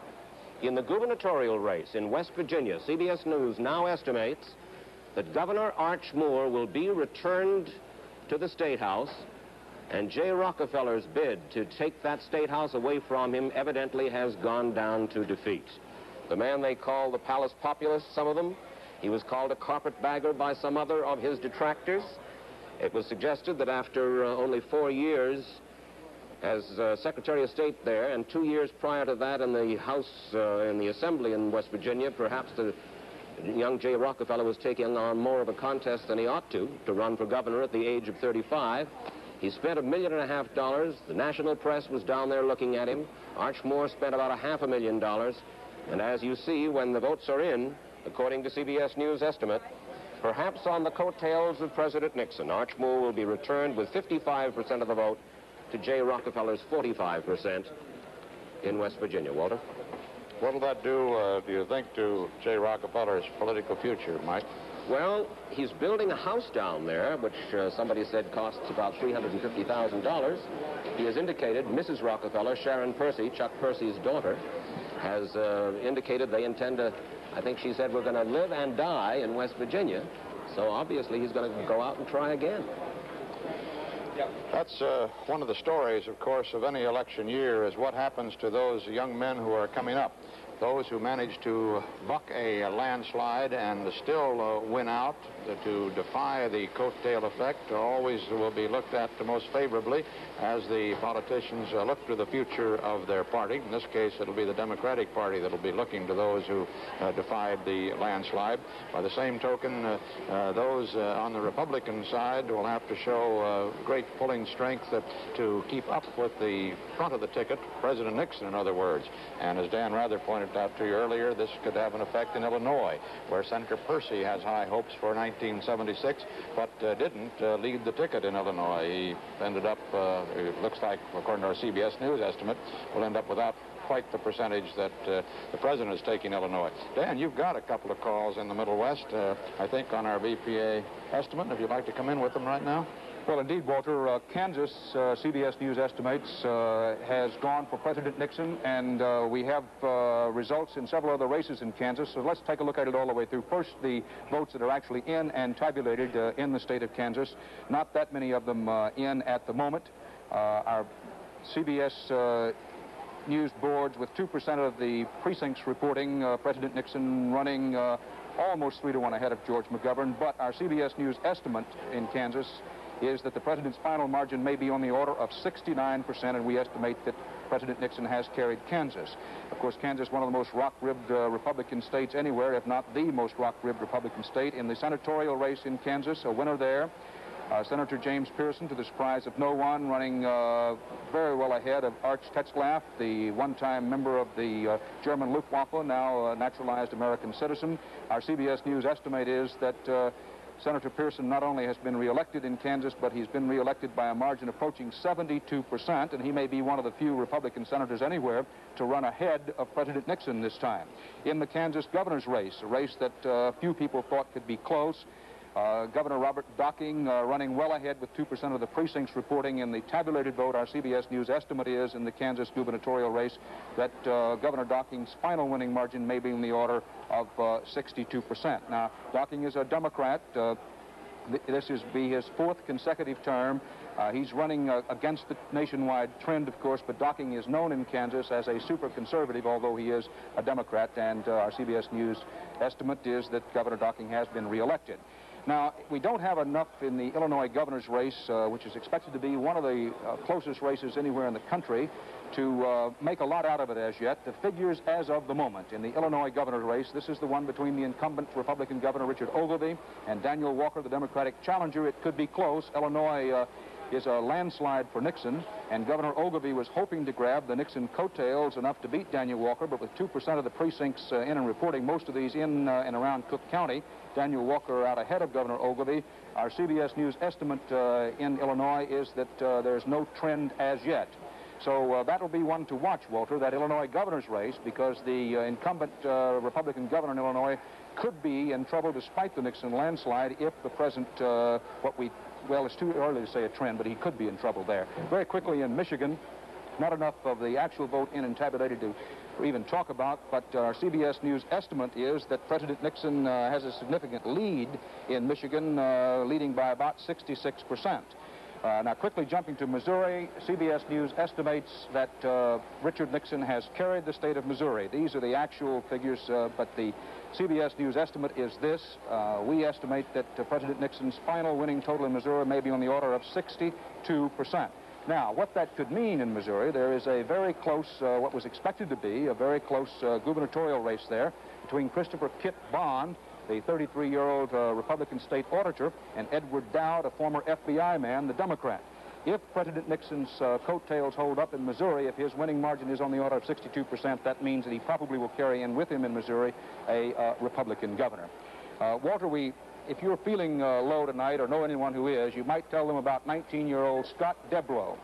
He hitchhiked all the way from Jackson, Wyoming to Rochester, Minnesota to cast a vote uh, in person for George McGovern when he found out it was too late to cast an absentee ballot. And I have an idea that while we can applaud uh, young Mr. Deblow's uh, persistence in getting his vote in, that he may feel that it's an awful long ride back to Jackson Hole, Wyoming. he did a little better than uh, an elderly lady up in New Hampshire who showed up at the polls to be told she was dead they, they, checked the registration rolls. They said, uh, they said, I'm sorry, you died. Well, that's the reverse of what sometimes happens in uh, South Texas and in uh, Chicago, isn't it, when uh, uh, dead people manage to vote? yeah, and uh, maybe, yes. Walter, you may also be interested to know that John Ashbrook has been reelected in Ohio in what some thought might be a closer congressional race than that. The president's coattails appear to be holding up very well in some of those Ohio congressional races. And three more states now have uh, gone into President Nixon's column, according to our uh, to our estimates here, uh, based on the precinct, uh, uh, the, the sample precincts. They are Delaware, Oklahoma, and North Carolina. And now a fourth, North Dakota which puts the president uh, within a couple of electoral votes of those necessary to uh, win. He is very close to a victory for his second term, according to our CBS News estimates. CBS News coverage of Election Night 72 will continue in a moment.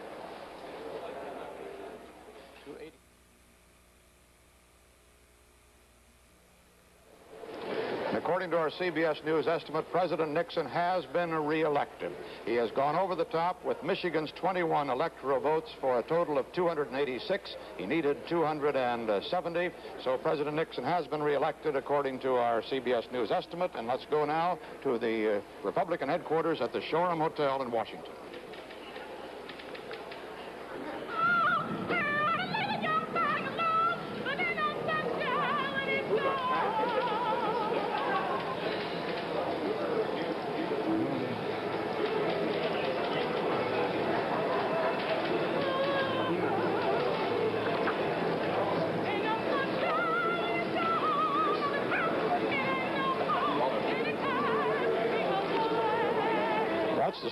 At the Shoreham Hotel, the Republican National Headquarters. Uh, they don't seem to have gotten the word there yet. Uh, maybe they weren't listening, or, uh, or perhaps they already have been uh, so assured of victory tonight that uh, the announcement from us that our sample precincts put the president over hardly count. At any rate, that's what we say.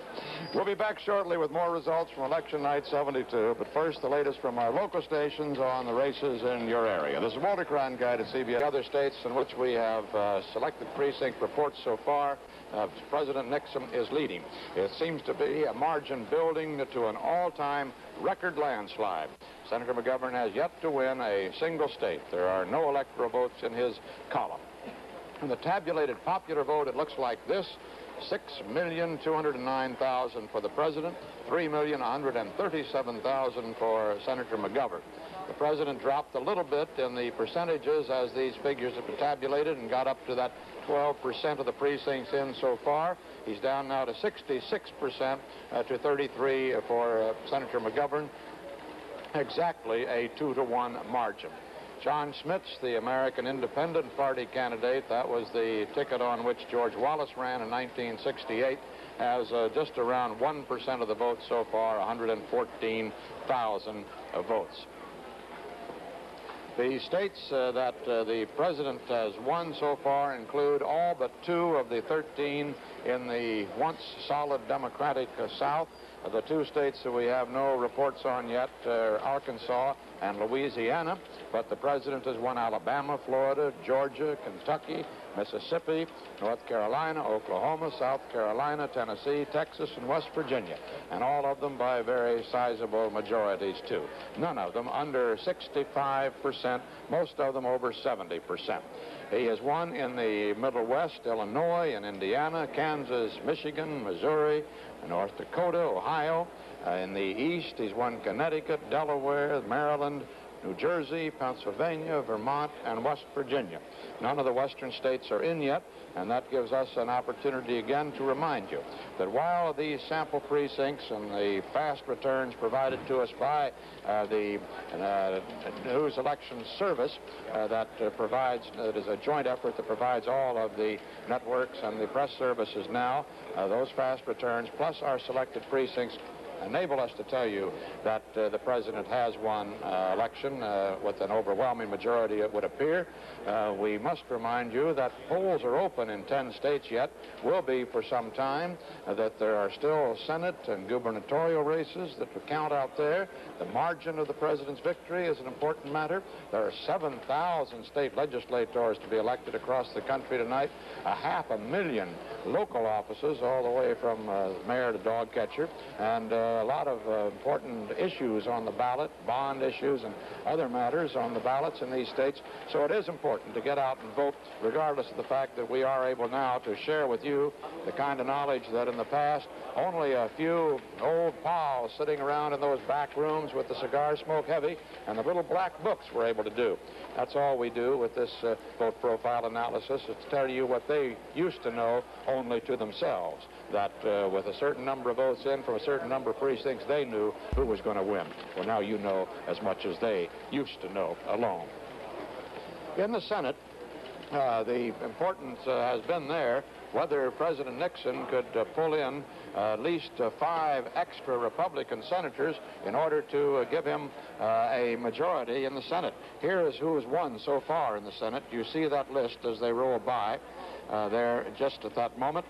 Uh, we just added onto that list West Virginia's uh, uh, Randolph and Kentucky's Huddleston. I thought we had them before, but I guess we just put them on the list. There they are again. Those are the Republicans who have won, but uh, they have not taken any seats yet uh, from the Democrats. The Democrats have not taken any seats from the Republicans yet. Uh, and so far, it looks like the Senate will be made up of about uh, the same proportion as at the moment, uh, with the Republican, uh, the Democrats with a five-vote majority. In the House races, they are going much the same way so far, although we don't have enough races in yet to give you a clear indication of that in the House with 435 seats up. That's all the House voting seats. The Republicans have won 32 so far, and the Democrats 81. The Republicans need to pick up 39 seats in the House in order to win a majority there. For a reaction to President Nixon's huge win tonight, Michelle Clark and Dan Schorr with the presidential counselor Robert Finch kind of fitting in a way that at the moment that the word has come here that the president in projections is over the top, the man who should be sitting with us is probably President Nixon's oldest friend in politics, the man who ran his unsuccessful 1960 campaign, has just flown in with the president who will be here later tonight, Bob Finch, former Secretary of Health, Education, and Welfare. Mr. Finch, as you traveled with the president, what was he expecting and what was his mood? Well, let me just describe uh, the what was on happening on the plane. Unlike, say, 1968, uh, Dan, when the tension was so uh, thick you could cut it with a knife, uh, everyone on Air Force One was uh, relaxed, uh, optimistic, um, and it was a, just a different world. Were there predictions being made? No, there wasn't even. You can tell now. you know, ordinarily you have bets about what will the margin be, and it's not that kind of thing at all. You mean nobody said 48, 49, 50 states? Well, we'd all pretty well weighed in with our votes. Uh, our expectations, 48 states, was my prediction, or Klein's prediction, and others. I think we'll stand by that. Did he speculate at all as to what this kind of landslide victory would be? No. How did this differ for you from 1960? Well, of course, to the recall history, uh, the early returns from New England, which was uh, Kennedy's home bailiwick, showed uh, strong margins for him, and I, I think the commentators were predicting a, a Kennedy sweep. Uh, but uh, as the further west we came, it was close. It became obvious it was going to be a closer and closer election. And of course, it wasn't until the following morning that the very, very close uh, nature of it uh, finally became apparent. Less than one vote per precinct. So that was a real cliffhanger, and a great deal of anguish and emotion uh, was involved in that. Do these results tonight pretty well settle it that you'll be running in California for office yourself on these very long coattails? This didn't decide that. Uh, uh, but I, I will certainly go back and look at governor and senator. But that, I think what the president has done here gives the Republicans an enormous opportunity if we can. His his leadership and the way he brought, he tried to carry the issues forward, and it was his plan, it was his leadership. Uh, now it's a question of whether the party can measure up to, to what he's As you were saying, governor or senator? I, I, I have to go back and talk to a lot of people, including my wife, and I'm going to... But there's no question that two years from now you will be running for office in California. The probabilities are good. Tony Finch, can you tell us, Walter? Uh, I wonder, do you have any theory as to uh, why, with such an overwhelming victory for President Nixon, uh, there there don't seem to be, uh, he doesn't seem to be carrying along uh, a lot of the senatorial candidates? Well, it's a complicated thing, uh, who gerrymandered the districts and so on, but I, I believe that because the foreign policy issue is very overriding in this, and, and that is uniquely in the hands of the president, and people have confidence in his ability, his understanding of this globe, that weighed very heavily, and they don't attach the same importance with regard to the Congress, or obviously the state houses, or uh, even the Senate, which does have the function of ratifying treaties. Did the president shortchange the Republican Party in amassing a coalition around himself? In no way. We, he, he, uh, we, all of us as surrogates, as cabinet members, were out campaigning. His family was out. He took pictures with all the candidates, wrote letters. Uh, he did everything a man could do and still do the job as president. And uh, because it, it, he's had a heavy, very heavy burden to carry with the Vietnam negotiations.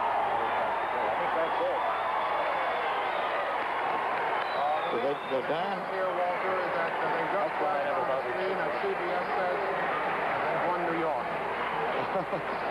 Dan, they got the word kind of late down there. Uh, Yeah, it was just it was just up on the board, Walter, that The uh, reason for all President the Nixon cheering, won New York. saying, That's what the reaction they, they is have about. a screen here where they pick up news from the networks, they just happen to pick up from CBS that President Nixon has won New York, which has somehow resulted in the loudest cheer we have yet heard here tonight. As you know, the President and Vice President Agnew will be here themselves in a couple of hours to join this celebration. Dan, uh, I don't, I'm afraid they didn't get that from New York. Uh, we haven't yet, uh, I mean, from CBS, we haven't yet said that New York uh, uh, has been won by President Nixon, but uh, uh, if, if they want to uh, go along on that basis, uh, perhaps they can. Well, what they're saying exactly, if I can read it to you, is President Nixon wins New York, CBS says. Well, all right. Uh, let, let, let, let, let, let them live in the happiness of having won New York uh, from CBS. Uh, we're, we're still counting votes and sampling our uh, sample precincts in New York. There's no question that President Nixon is winning an overwhelming victory across the nation, though, and uh, adding New York will just be that much lagniappe, as we used to say uh, in New Orleans, for the Republicans and President Nixon. We can say that that uh, I, sh- I should have said a moment ago. Let me correct uh, something I kind of booted around there in that fast rundown of the Senate races won. The Democrats have picked up a Senate race in Kentucky. Walter D. Huddleston defeated uh, the former Governor Louis Nunn in Kentucky, according to our CBS News estimate. A very close race there, 51% to 49. We think the final vote will be, and that takes away the Republican seat that was held by John Sherman Cooper. CBS News coverage of Election Night 72 will continue in a moment.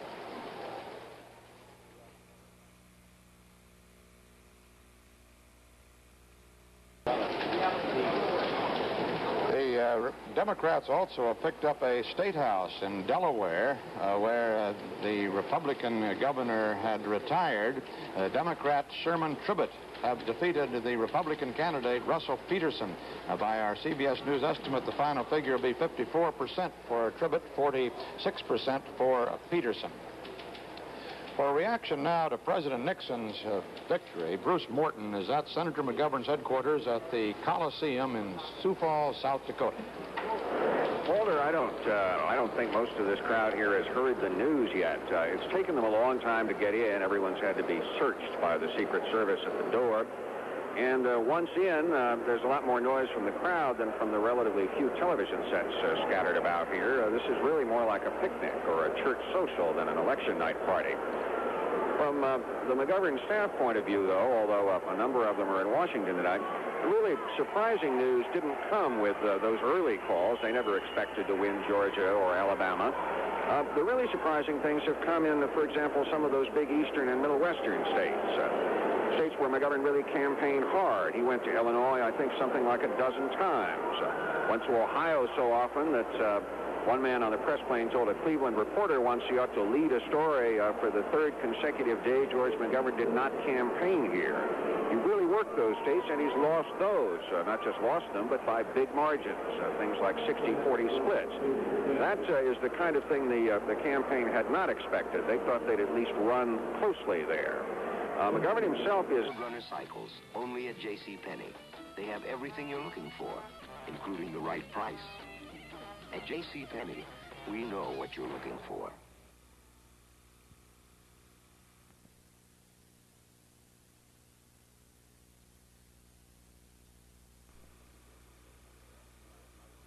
Roadrunner Cycles. Yeah, uh, I don't know just when he will be, but uh, my colleague Bob Schieffer is at the hotel where the senator is staying.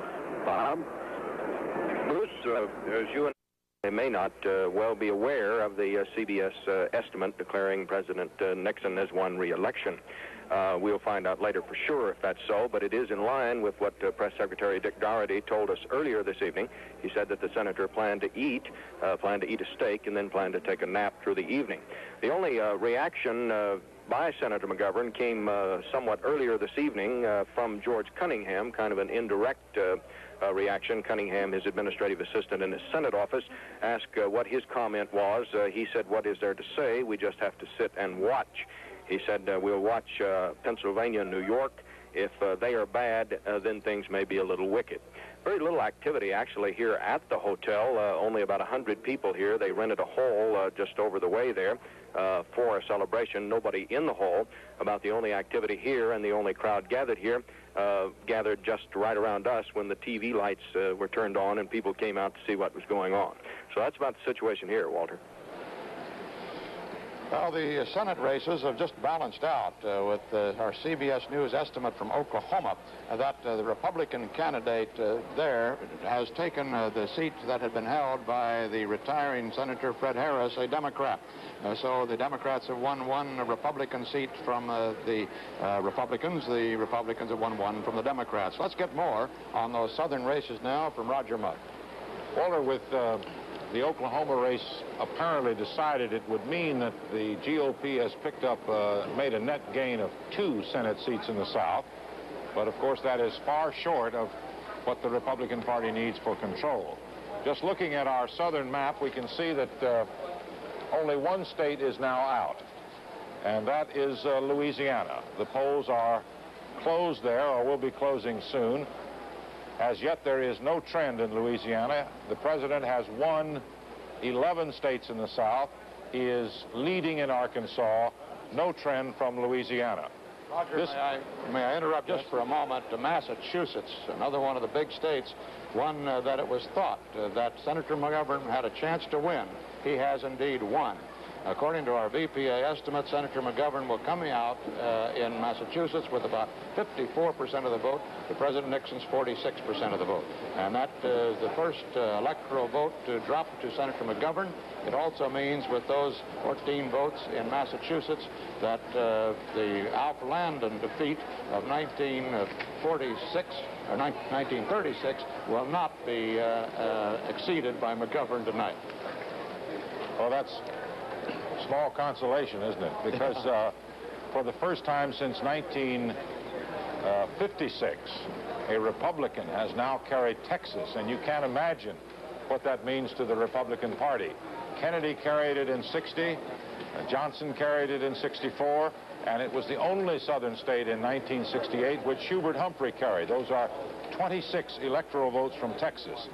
The president himself made two trips to Texas to visit John Connally on the uh, former Treasury Secretary's ranch, and of course Connally himself headed Democrats for Nixon.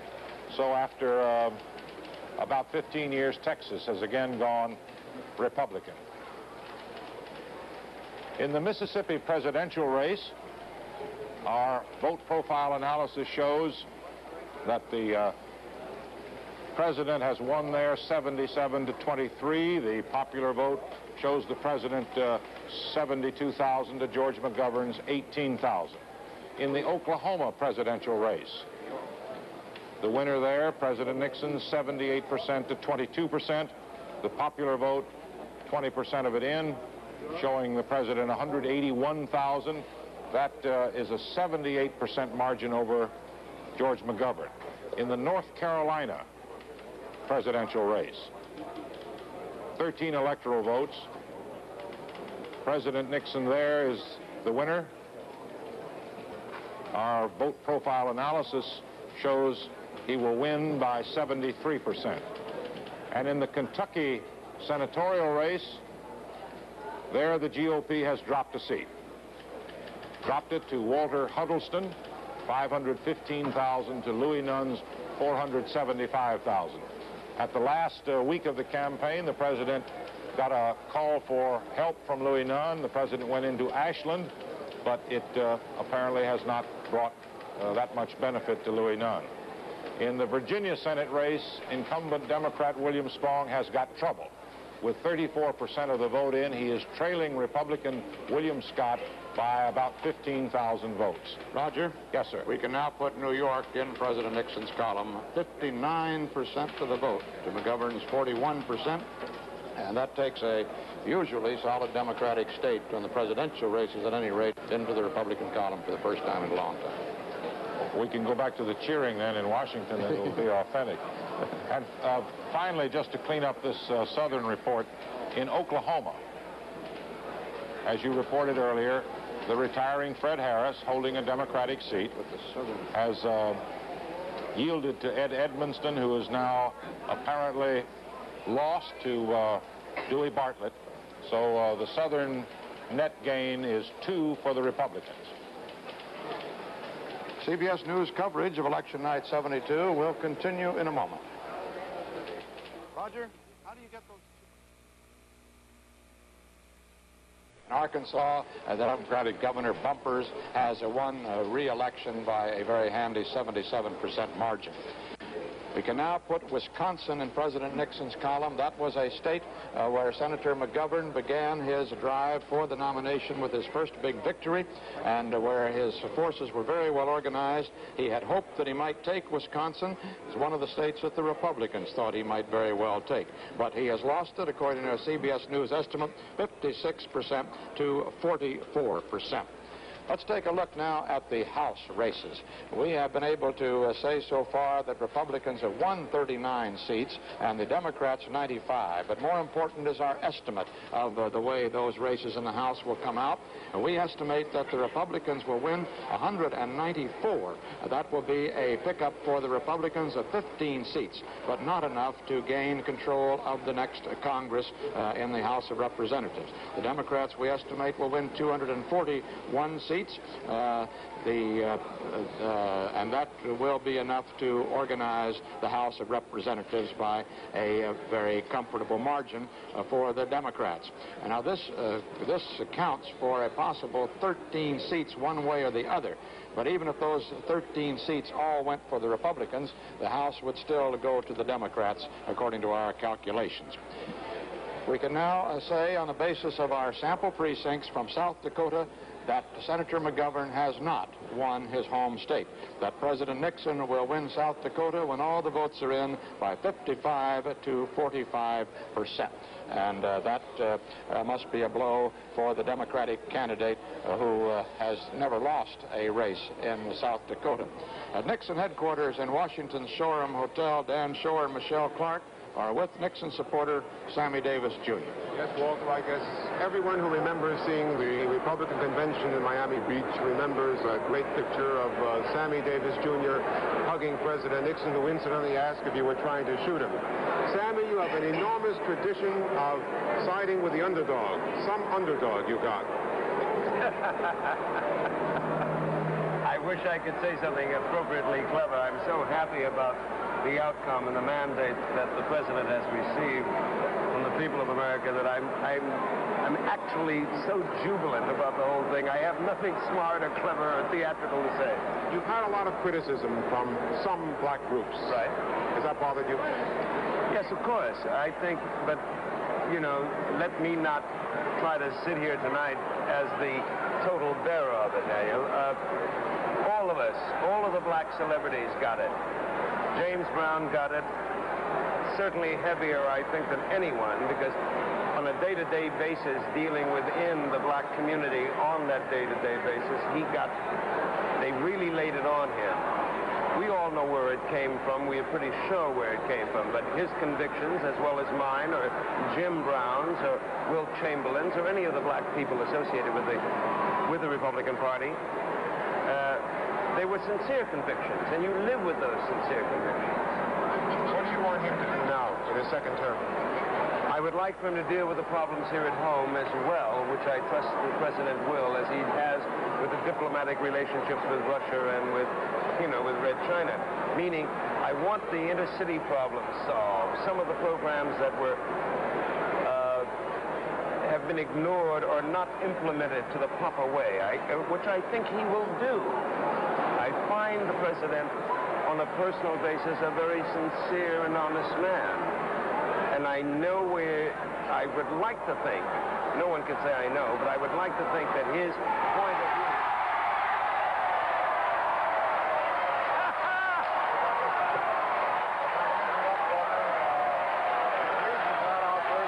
South Dakota. South Dakota going to President Nixon as you reported a little while ago.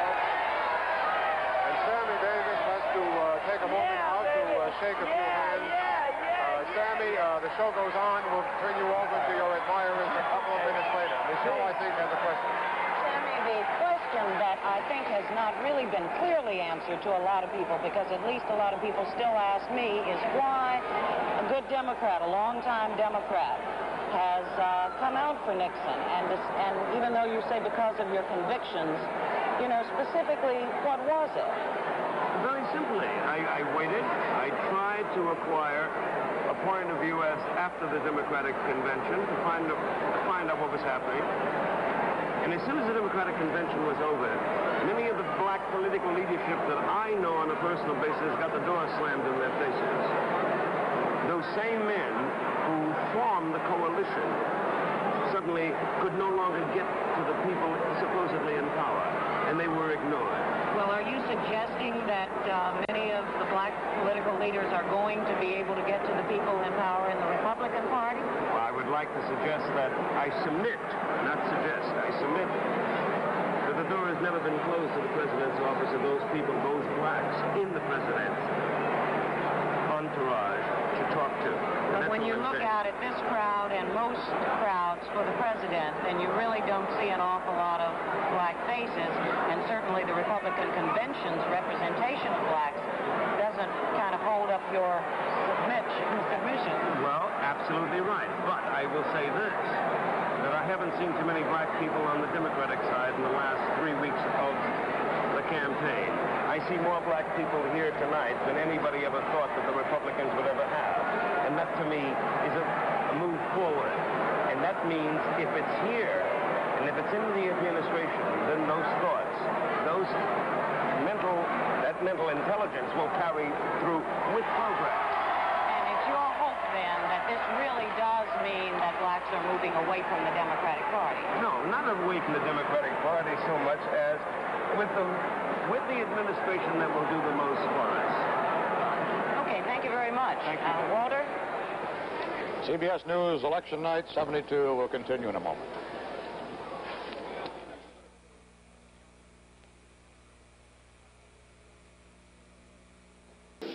We can now add uh, one more of the solid South uh, states uh, to the uh, new solid Republican South, Louisiana, the last of the 13 southern states uh, to be reported by our CBS News estimate, and uh, President Nixon will take uh, Louisiana. All 13 of the uh, southern states have gone for President Nixon tonight, as indeed have all the other 31 states that we have uh, been able to uh, report on with the basis of our sample precincts so far. Only one state has gone for Senator McGovern. That is Massachusetts, and those 14 electoral votes uh, are the only ones in McGovern's column. South Dakota, uh, his native state, uh, he has lost according to our CBS News estimate, and we reported that to you a moment ago. I think at the time I said that he had never lost a race in uh, South Dakota. I stand uh, corrected. I knew better, but my tongue slipped. He did lose in 1960 to Senator Mundt there.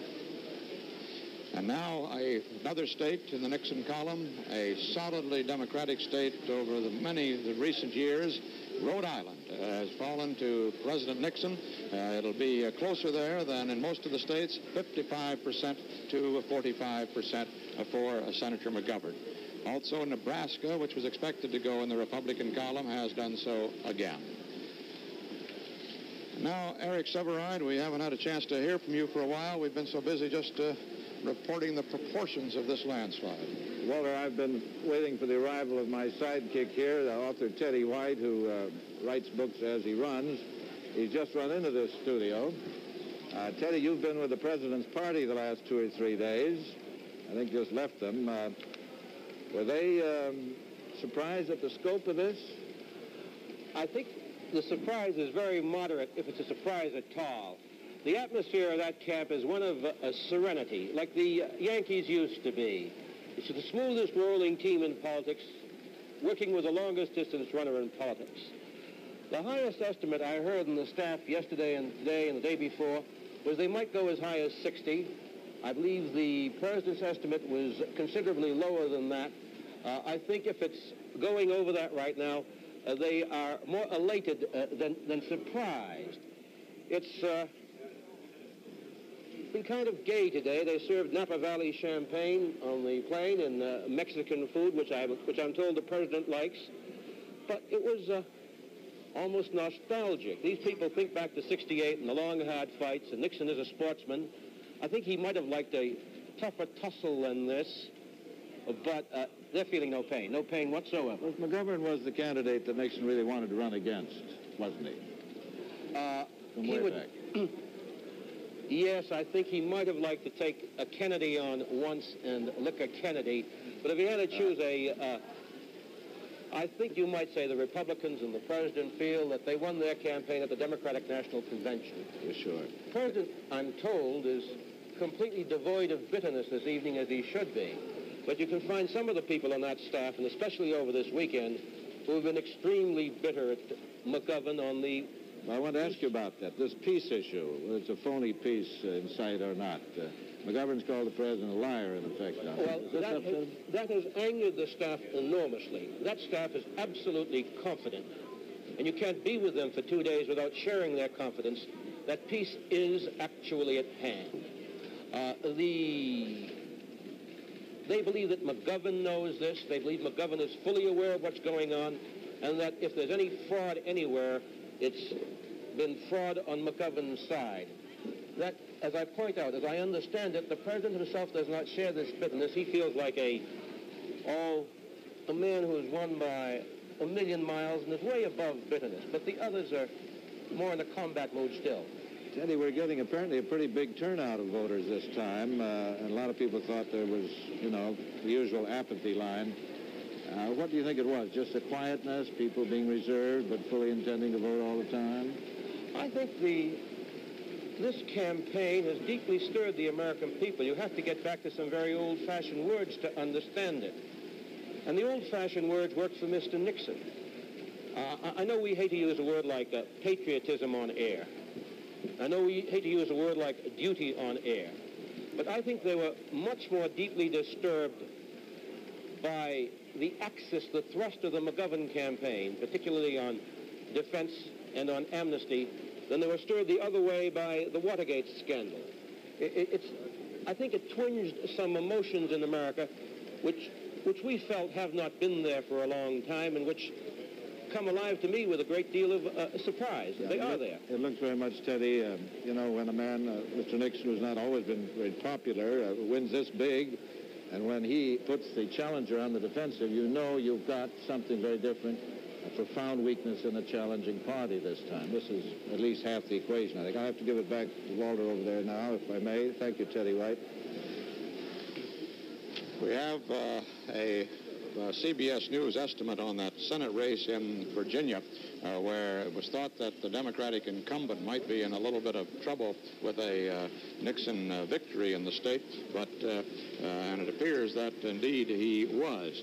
Republican Scott has won the Virginia Senate race, 52% of the vote, to upset the incumbent Spong. We'll get more on that in a little while from Roger Mudd, but that now means that the uh, Republicans have picked up two Senate seats in the South.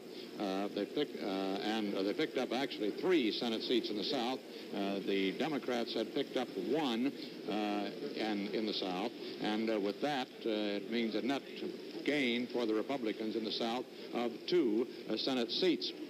They need a net gain of five Senate seats uh, to win control of the Senate. CBS News coverage of Election Night 72 will continue in a moment. With uh, some 33 of the states uh, now in our columns uh, on which CBS News can estimate winners, 33 of them for President Nixon, it would appear that he is well on the way to very possibly the second greatest electoral vote to landslide in our history, second only to that of Roosevelt over Landon in 1936. And now let's get some of the tales from our eastern races from Mike Wallace. Walter, if there's any graphic understanding of what has happened to President Nixon tonight, let's go to Rhode Island to begin with. That's the most democratic state of all in the last three elections. John Kennedy won over Richard Nixon with 64% of the vote in 1960. Lyndon Johnson beat Barry Goldwater with 81% of the vote.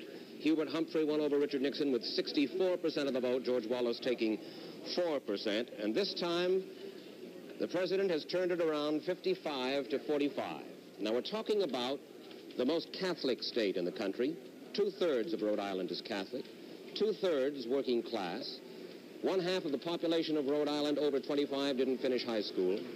No Republican senator has been elected here since 1930, and incidentally, on the issue of coattails, at this moment, Claiborne Pell, the incumbent Democrat, is leading John Chafee uh, by 54 to 46. Pell leading Chafee 54 to 46 in the state of Rhode Island. But to come back to the uh, original thesis, Rhode Island is an indication of how Catholics have moved toward President Nixon, how the working class, how blue-collar people have moved toward Nixon, and now we have confirmation. Claiborne Pell has won the Rhode Island Senate race with about 54% of the vote. John Chafee, three-time governor of that state, former Secretary of the Navy, Nixon's coattails made no difference to John Chafee. Pell has returned to the Senate. But let's take a look, while we have time anyway, at some of the other races in the East. Let's recapitulate some of the CBS News estimates, beginning with the state of New York, and compare where Richard Nixon is this time compared to last time. Let's start with New York State. 59% for the president this time. Last time around, he had 45%. Let's move to Massachusetts. This time, 45%. Last time, 33%. Of course, McGovern won in Massachusetts, and last time George Wallace had 4%. In the state of Connecticut, 60% in that blue-collar, ethnic, Catholic state this time. Last time around, 44% for Richard Nixon. He won in Delaware last time with 45% of the vote. This time, up to 61% of the vote. And so it goes all through the eastern states, doubling his Catholic vote from last time, doubling the Jewish vote as well, or just about, in spite of the fact that the Jews still predominantly went to McGovern. This, obviously, is the, is the win that Richard Nixon wanted more than any other. Barry Goldwater had suggested he was going to saw off the eastern seaboard and send it out to sea. Richard Nixon has brought it back into the Republican Party. The percentage, uh, popular percentage for President Nixon has dropped a little bit. Now, with one-fifth of the nation's vote counted, he's down to 64%. It was up to 67 at one time earlier this evening. Mr. Earl, Seligman, what about some of the other domestic issues? Welfare reform, is there going to be a new plan? Will it be the same old plan? Are you going to push harder for it this time than last time? Well, we pushed hard last time, but I think uh, an awful lot of the uh, congressmen have been campaigning on the welfare issue, and they've taken positions. You know, nobody was really thinking about welfare reform until the president advanced the proposal three years ago. Now it's an issue. It's a national issue, and I think there have been a lot of positions crystallized by candidates for the Senate and the Congress. Very, sorry, very briefly, Mr. Ehrlich. I mean, there are some who say that you could have had welfare reform if you'd been willing to make a deal, perhaps at the cost of a few votes, with Senator Ribicoff and the Democratic liberals. Is that so? No, I don't believe that. I know uh, uh, I watched your show, and that was the implication of the CBS show, but, but I don't think it's true. Uh, Senator Ribicoff didn't have the votes, and we were very near the end of a session. Uh, the conservatives in the Senate had it within their power to filibuster right up against the, the adjournment date. And uh, as we counted it, we simply had a third, a third, a third, and it was just about deadlocked. Thank you, Mr. Ehrlichman. In the uh, South, uh, in uh, in uh, Mississippi, Senator Jim Eastland has uh, won his race for re-election over Carmichael, the Republican challenger. he won by, we'll, we figure to be about 57 to 41 percent. in Arkansas, Senator McClellan, the Democrat, won again handily as expected. And also in Louisiana, Democrat J. Bennett Johnston has won in the Senate as expected. CBS News coverage of Election Night 72 will continue in a moment. We have a uh, CBS News estimate on uh, what had been anticipated to be a very close uh, Senate race in New Mexico. And there, the Republican candidate, Domenici, has uh, defeated the Democratic candidate Jack Daniels, which means another seat that the Republicans have taken from the Democrats. That seat had been occupied by Clinton Anderson, a 24-year veteran in the uh, Senate who retired this year. And with uh, that Republican victory, they now have picked up four seats of the five they need to gain control of the Senate. Of course, a lot of states have not been heard from yet, but uh, they are moving close to at least one of the coattail objectives of Campaign 72 the uh, the races won so far in the uh, in the Senate. We could go through those very quickly for you. The uh, Republicans have won 11 races and the Democrats eight. The Republicans have won as expected, uh, uh, holding on to their uh, seats that they now occupy in Massachusetts, in New Jersey, in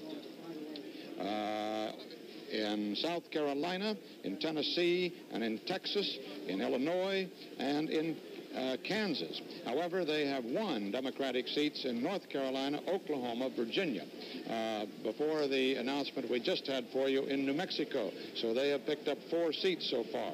The Democrats have picked up one seat, so the margin should be three, I suppose, of the seats that the Senate that the Republicans have picked up so far. The Democrats have won a very close race in Rhode Island, in West Virginia, Alabama, Arkansas, Georgia, Kentucky, Louisiana, and Mississippi. And now let's go for a more complete report from our Middle Western states and Dan Rather. Well, Walter, uh, as you can see by the map, the Nixon forces have uh, marched through the breadbasket Midwest uh, like a combine, and it, as things now stand, only Minnesota, that's the only state standing between Richard Nixon and a complete sweep of the Midwest, meaning that uh, if George McGovern cannot take Minnesota in the Midwest, that it will be the solid Midwest added to the solid South. Uh, a couple of very interesting Senate races uh, building up, but first just to give you an idea of uh, how much the president is winning by in the Midwest and how short his coattails in this particular area of the country are proving to be. Uh, take a look, hold it, just something has, this is uh, an upset of the first order here in Iowa, which is about as Republican as you can get.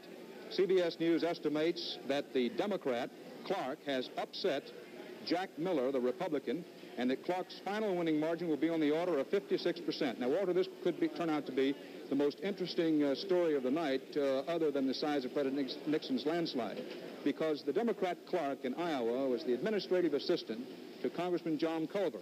Culver, a Democratic congressman in Iowa, was all set to run against Jack Miller. His own polls told him, though, that in the face of a Nixon landslide that he, a Democrat, and I would have no chance. His administrative assistant refused to believe the polls, went out to Iowa, and if our CBS News estimate is correct, has done uh, what his own congressman uh, for whom he worked uh, was unwilling to even try.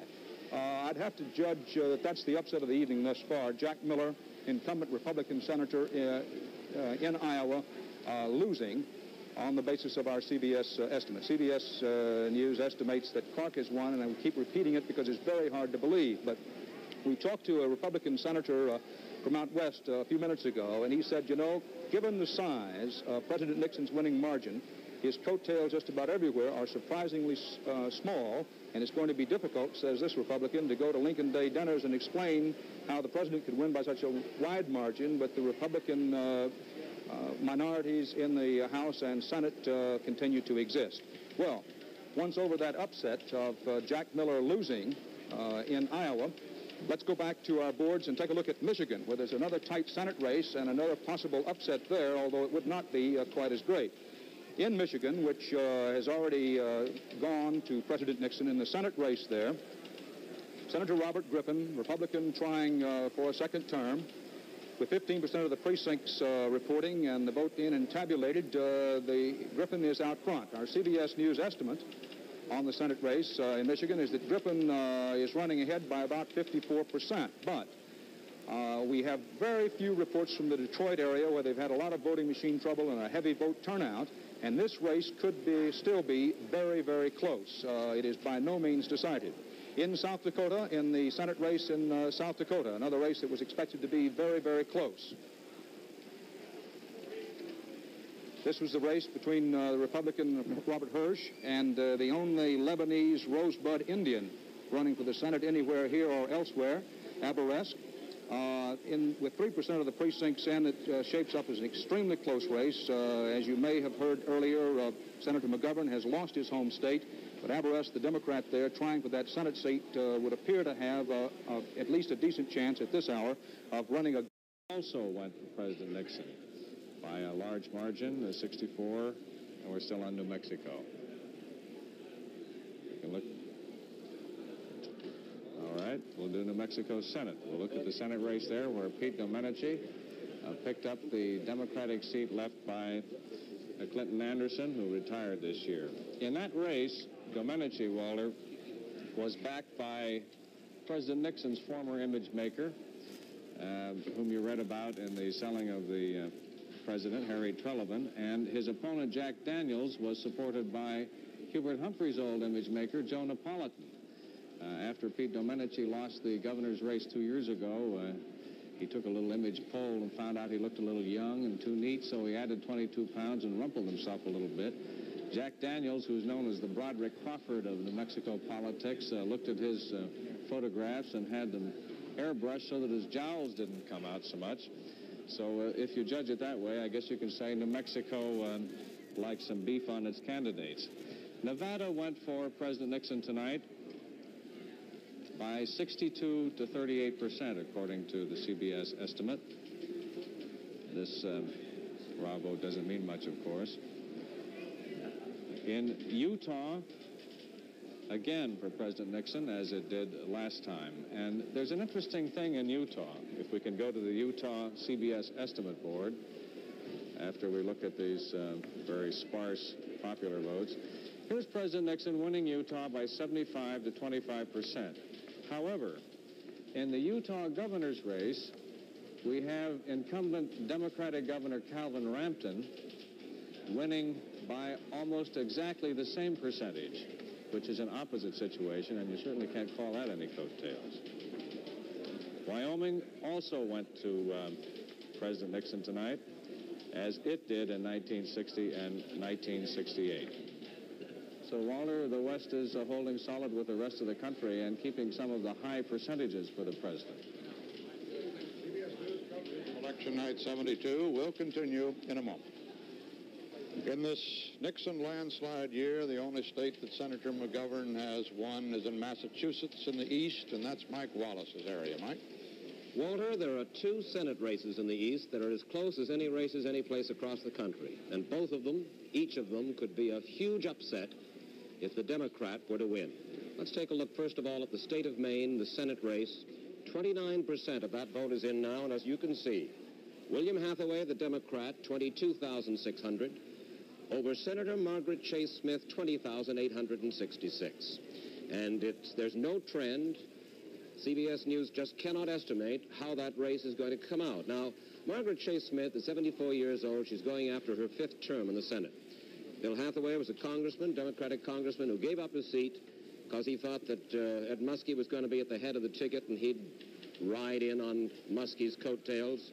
Muskie didn't ride into the uh, nomination, and Hathaway was given up for dead.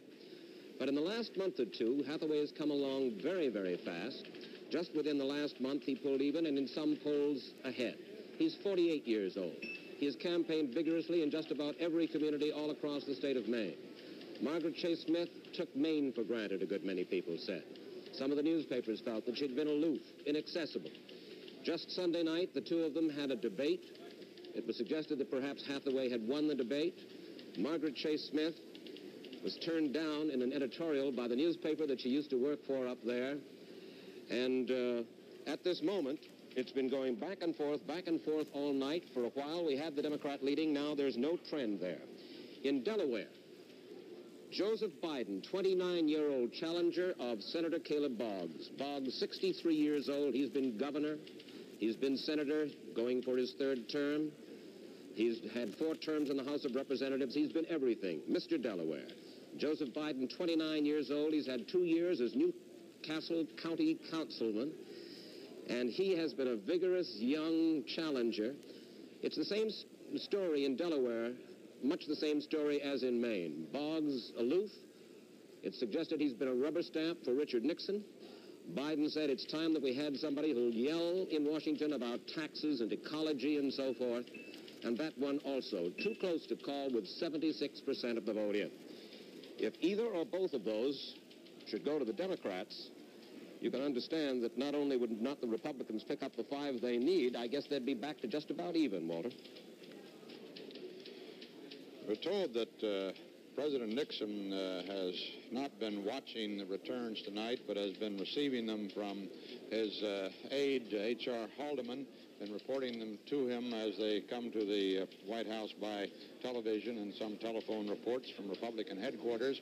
The president himself uh, is in his study by a roaring fireplace, uh, his briefcase at his side, and uh, a large yellow legal pad on his knee as he drafts his victory statement. The report to us from Washington.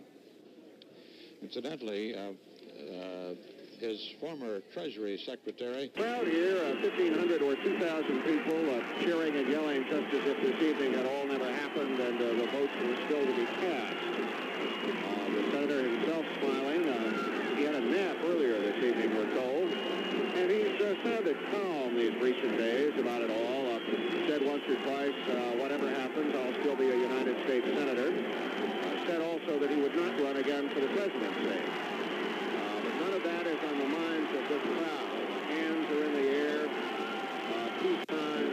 Signs, uh, sometimes just flailing balloons, and uh, for all the world you'd think he'd won. Uh, this has been a quiet party up until now, uh, but this has ignited it. This is the kind of good crowd that we saw all during the campaign. Those of us who traveled with him were puzzled sometimes. The crowd seemed so good and the poll seemed so bad for him. Uh, this is the We Want George chant that we've heard a lot of uh, these last couple of months. It's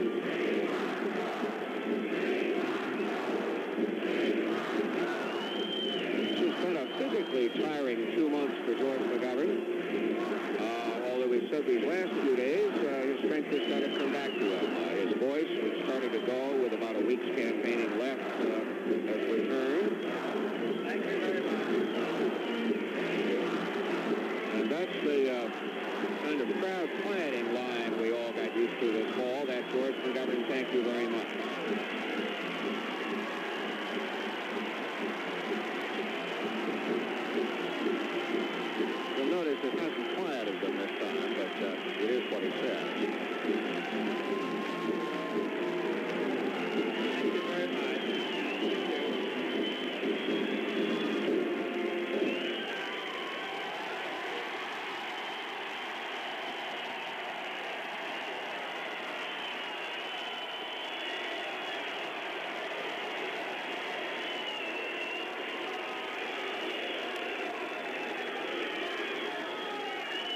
Very much.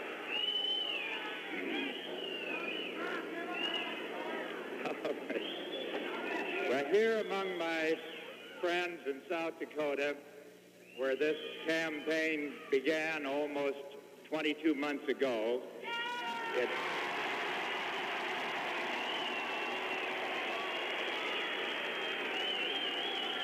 uh, we now we now bring it to an end tonight, and I have just sent the following telegram to President Nixon. Congratulations on your victory.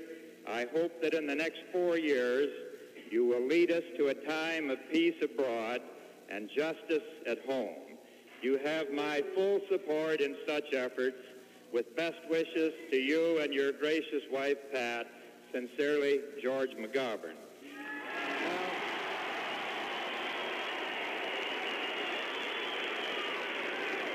The first, uh, the first presidential concession that I remember hearing was that of Adlai Stevenson in 1952.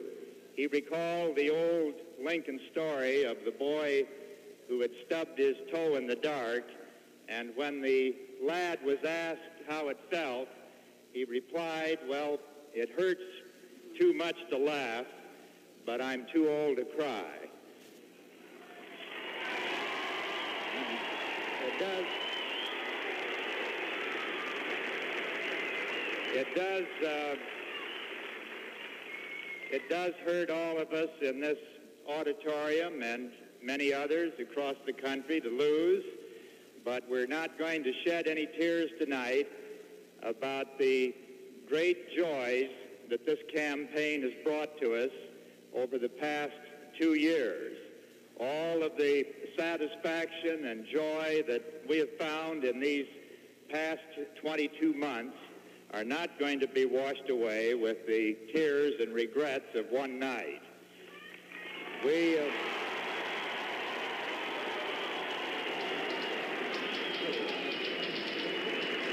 CBS News now estimates that uh, Nixon also has won California.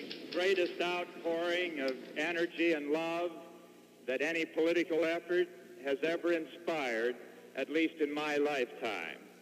Eleanor and I and our family, along with Sargent and Eunice Shriver, will never forget the people of this campaign. And those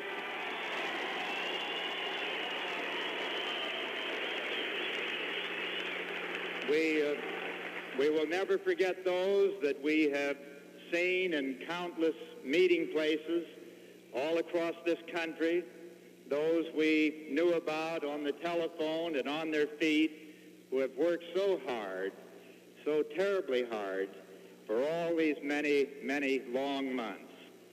The poet Yeats said something that I quoted the night of the Massachusetts primary, and it looks like Massachusetts is coming through again tonight.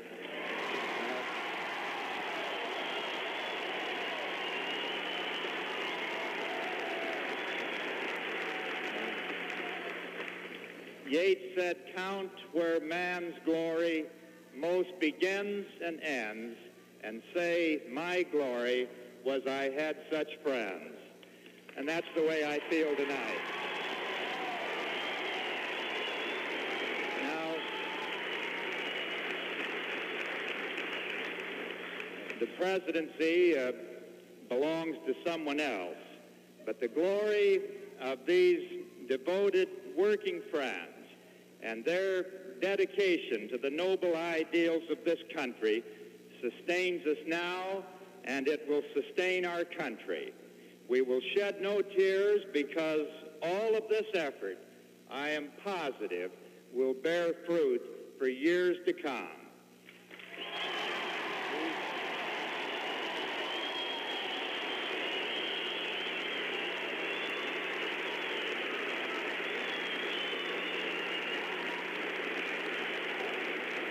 There, there can be no question at all that we have pushed this country in the direction of peace, and I think each one of us loves the title of peacemaker more than any office in the land. We,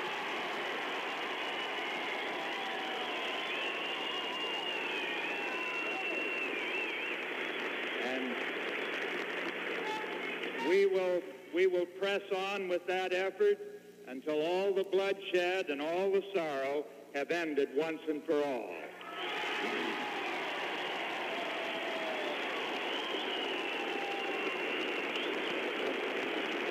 I, I want every single one of you to remember and never forget it that if we pushed the day of peace just one day closer, then every minute and every hour and every bone-crushing effort in this campaign was worth the entire sacrifice.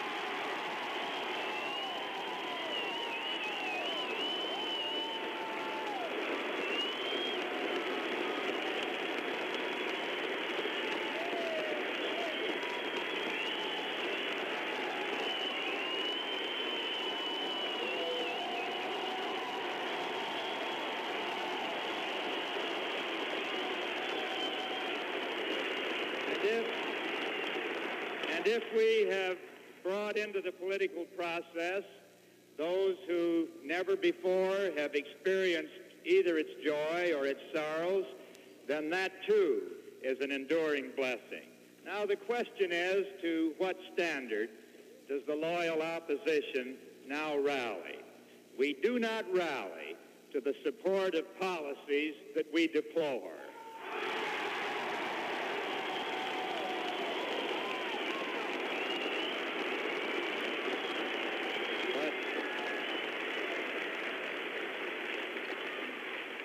But we do love this country, and we will continue to beckon it to a higher standard.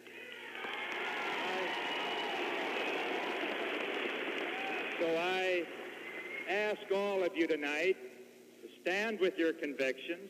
I ask you not to despair of the political process of this country because that process has yielded to much valuable improvement in these past two years.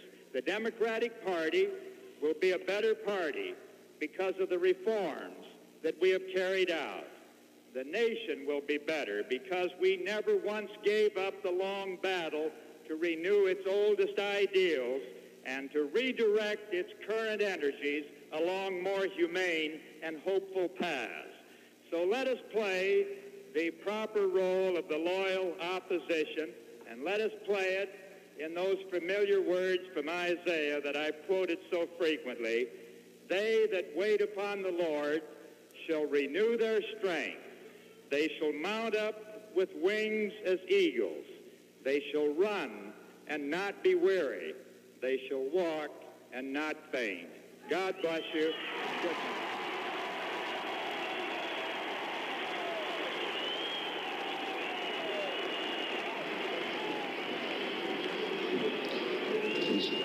So Senator McGovern's campaign that began 22 months ago as he sought the presidency, in which he has traveled over 200,000 miles, 96,000 miles since the convention itself, more than any other candidate in history, which he spent more than $40 million, comes to an end.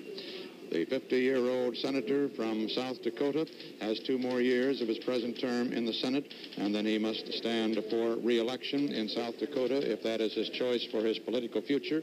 Uh, the immediate future is what role he will play in the uh, Democratic Party. A National Democratic Committee meeting in Washington on December the 9th uh, will very likely decide the immediate future of the party that went down to an historic defeat tonight. CBS News coverage of election night 72 will continue in a moment. Our CBS News estimates on those western races are beginning to pour in now, and John Hart has several of them for us. Well, the president has won uh, 10 seats of uh, 10 uh, states of the 13 in the West, all but uh, Alaska, Arizona, and Hawaii. He's won in Colorado, Idaho, uh, Montana, Nevada, New Mexico, Utah, Wyoming, and now, as you said a little earlier, in California, which is the one large state uh, after Massachusetts that uh, Senator McGovern thought he had a good shot at.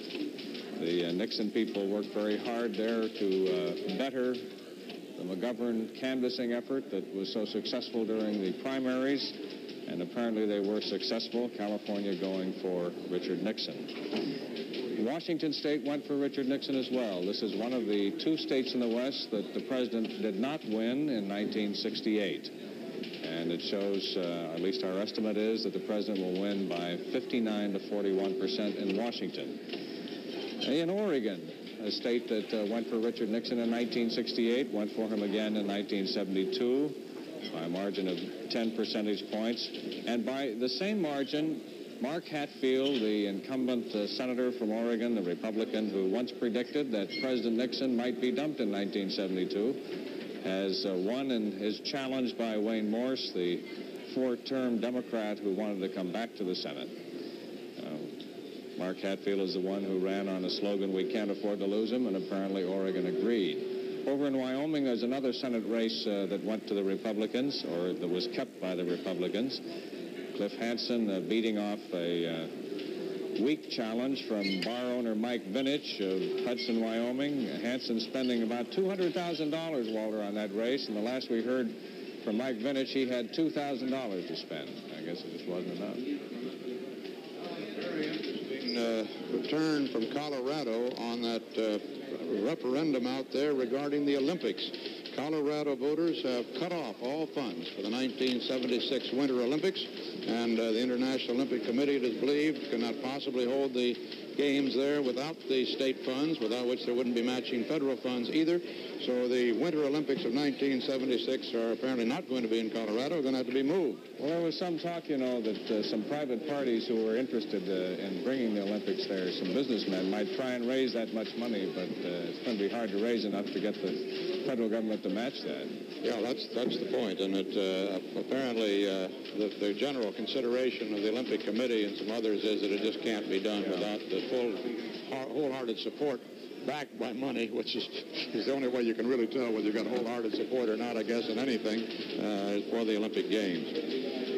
CBS News now can say on the basis of our sample precincts that Senator Margaret Chase Smith of Maine has been defeated uh, this year, uh, despite the Republican landslide uh, across this United States and uh, in Maine itself on the in the presidential column. Uh, Margaret Chase Smith uh, has lost. our CBS News estimate is that when all the votes are in, it will be a 55 to 45 percent margin for the Democrat candidate Hathaway. And Mike Wallace will give us all the details on that in just a moment. This now brings the Senate uh, uh, net gain for Republicans or Democrats to zero. Uh, they each have picked up five seats from the other, and uh, the, that means that uh, the Senate will be uh, in about the same composition, although with some new faces in 1973 when it meets again in January. Uh, the totals now, as you see, 15 Senate races. Uh, the Republicans have won, 13 the Democrats have won. That's a total of 28, so there are five outstanding races, most of those are uh, Republican seats anyway. The uh, in the House, uh, the situation is about the same according to our news estimate. The uh, Republicans will win some seats there, perhaps as many as 16 or 17 seats, uh, but uh, not, that's not enough. Uh, they need 39 to gain control of the House of Representatives, so it appears that President Nixon will again have a Democratic Congress. CBS News coverage of Election Night 72 will continue in a moment. I first want to express my deep appreciation to every one of you, the millions of you who gave me your support in the election today. And I want to express my respect for millions of others who gave their support to Senator McGovern. I know that after a campaign, when one loses, he can feel very, very low, and his supporters as well may feel that way. And when he wins, as you will note when I get over to the Shoreham, people are feeling very much better. The important thing in our process, however, is to play the game. And in the great game of life, and particularly the game of politics, what is important is that on either side, more Americans voted this year than ever before. And the fact that you won or you lost must not keep you from keeping in the great game of politics in the years ahead, because the better competition we have between the two parties between the two men running for office, whatever office that may be, means that we get the better people and the better programs for our country. And now that the election is over, it is time to get on with the great tasks that lie before us. I've tried to conduct myself in this campaign in a way that would not divide our country, not divide it regionally or by parties or in any other way. Because I very firmly believe that what unites America today is infinitely more important than those things which divide us. We are united, Americans, Northeast, West, and South, both parties, in our desire for peace. Peace with honor, the kind of a peace that will last. And we are moving swiftly toward that great goal, not just in Vietnam, but a new era of peace in which the old relationships between the two superpowers, the Soviet Union and the United States, and between the world's most populous nation, the People's Republic of China, and the United States, are changed so that we are on the eve of what could be the greatest generation of peace, true peace for the whole world that man has ever known. This is a great goal, bigger than whether we're Democrats or Republicans. And it's one that I think you will want to work with me, with all of us, in helping to achieve. There are other goals that go with that. The prosperity without war and without inflation that we have all wanted and that we now can have. And the progress for all Americans, the kind of progress so that we can say to any young American, whatever his background, that he or she in this great country has an equal chance to go to the top in whatever field he or she may choose.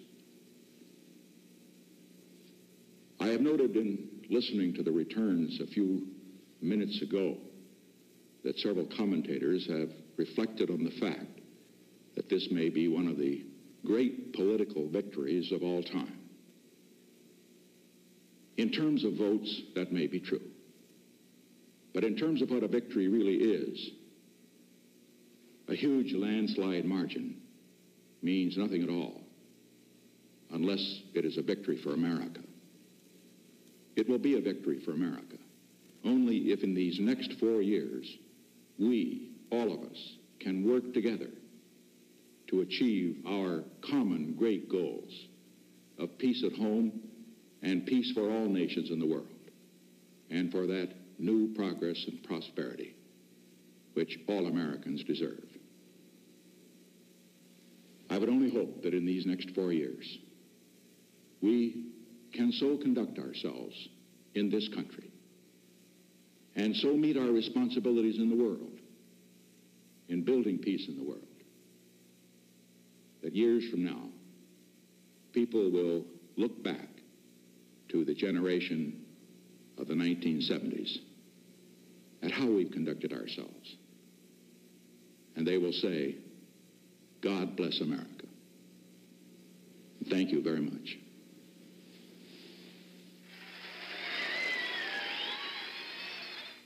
President Nixon uh, will be going on to the uh, Shoreham Hotel uh, where the victory party is underway, and Vice President Agnew is expected to uh, join him there uh, that uh, very shortly. Thus, the 59-year-old president completes his last political campaign, presumably. Uh, he, it is, marks a remarkable uh, comeback from uh, the depths of political despair. Just 10 years ago tonight, turns out that President Nixon, or then uh, Vice President Nixon, no, he wasn't even Vice President then. He'd been defeated for the presidency in 60. 1962, he appeared in a uh, ballroom of a Los Angeles hotel uh, to concede defeat in the governorship race in California. And it was at that time that he said he wouldn't be running for office again. He told the newsmen, as you remember in that statement, that uh, they wouldn't have Richard Nixon to kick around anymore. But in just 10 years since then, he has come back to tonight uh, win uh, one of the greatest landslide victories in the history of this nation. It may turn out to be the greatest landslide victory. Remarkably enough, he did that by traveling more in 1966 to elect uh, governors and congressmen and senators and to build up a, a, group of political IOUs for the 1968 race, travel more by almost twice, as he did this year in his reelection campaign. CBS News coverage of Election Night 72 will continue in a moment. Thank you all. Thank you all very much. This has to be a tremendously satisfying evening for all of you who've worked so hard to re-elect our great president.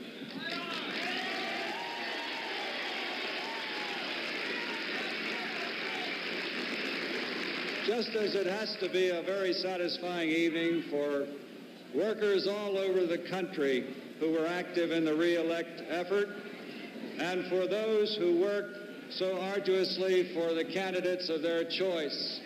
It's wonderful to have a winner in politics. But I would say that whether one wins or one loses, there is much to be learned out of the political effort and in the political arena. One of the things that satisfies me most about this election is the chance that I've had to be associated with a great president, a president whose policies have been put before the American people, a president who the better he is known by the American people, the more he is loved by the American people.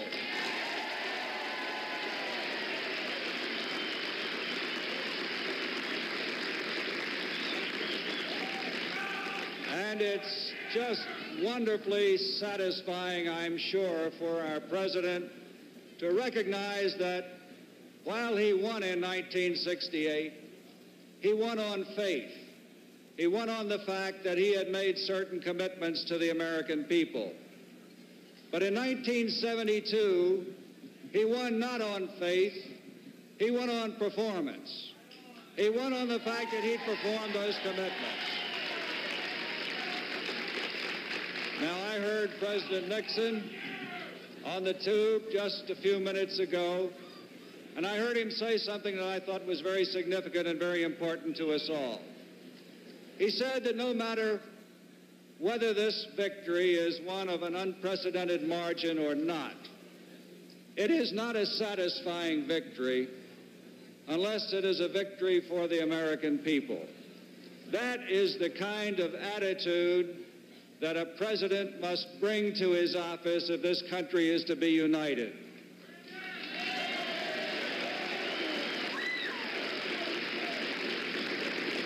I want to express my personal appreciation to everyone who has worked so hard in this campaign, to the members of my family who have suffered through so much political activity.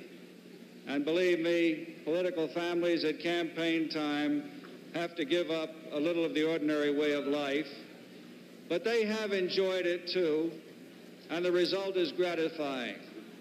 I also want to say to all the candidates who won, whatever party they represent, that they have one of the most precious things that representatives of a free people can have. They have the unchallenged approval of the majority of their constituencies.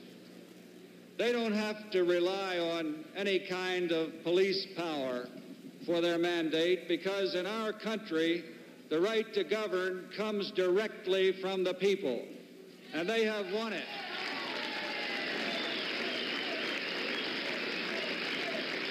But in winning, of course, they must reach out the hand of conciliation to those who have voted for someone else in good conscience, in good faith. For myself, I can only say that I hope that the performance of the Nixon Agnew administration in the next four years will satisfy not only those who supported the ticket this year, but those who didn't. I hope that we will all unite behind one of the strongest, one of the most temperate, courageous leaders of our time, President Nixon.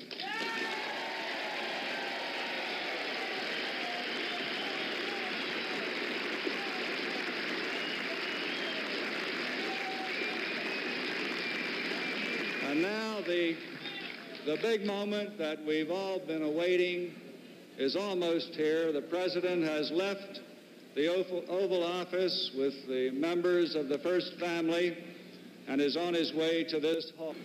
And in the meantime, let me simply say, enjoy and savor what you worked for and won. Thank you.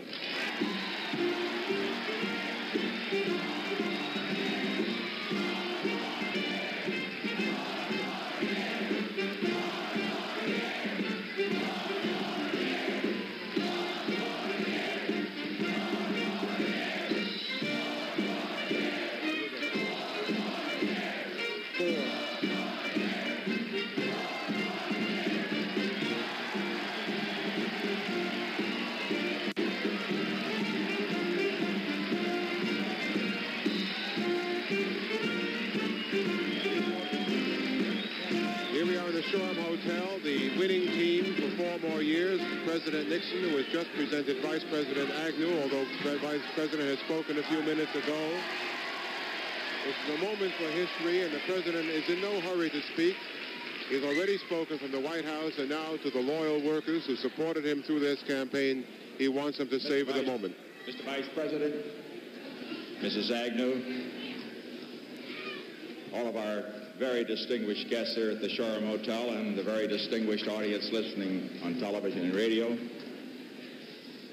At Ontario, California on Saturday night, at the conclusion of a speech to what was estimated a crowd of 50,000, I said, this is the last time I will ever be addressing a campaign rally as a candidate.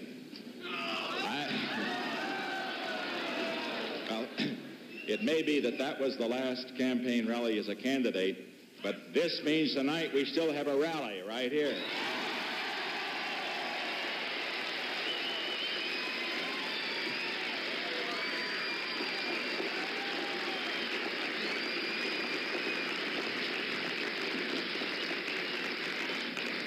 Now, let me briefly touch upon several significant things about this election.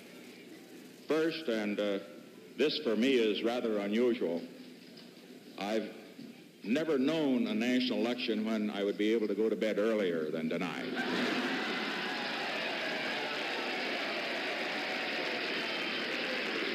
Second,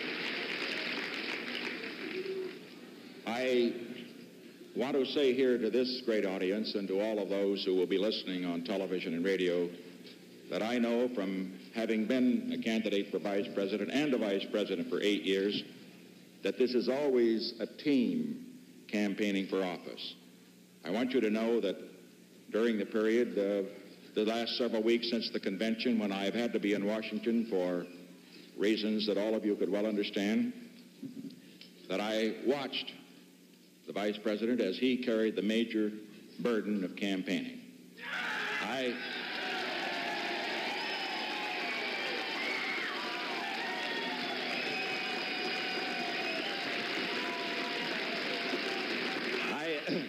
I watched I watched with no concern and considerable amusement uh, the attempts that were being made by some uh, rather rather vicious uh, heckling uh, to get under his skin and get him to blow his cool. Let me say, the real the real test of a campaigner is to go through the fire of a campaign when he's taken all the heat. The vice president has proved he's a great campaigner.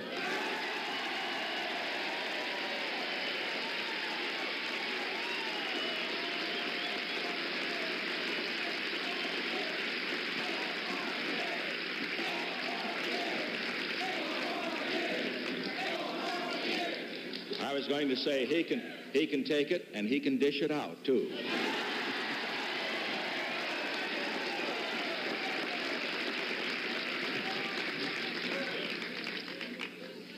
Also would like to pay tribute to all of the other members of the team. I refer, of course, to our campaign chairman, Clark MacGregor,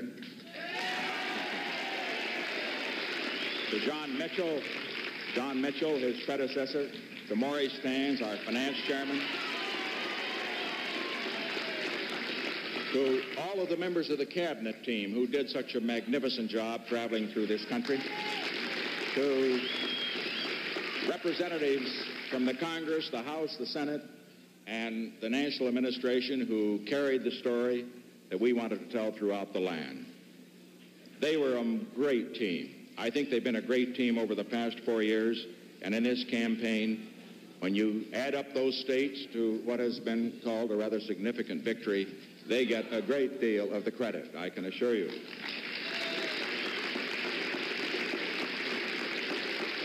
I also want to pay tribute to another group that too often is overlooked. I wrote a book after the election defeat of 1960, and one of the chapters of that book dealt with the campaign of 1960. When you write a book, you're supposed to dedicate it to somebody. And not being an expert at this sort of thing, uh, I just put on the flyleaf of the dedication page on this book about the campaign of 1960. I dedicated it to Pat. She also ran.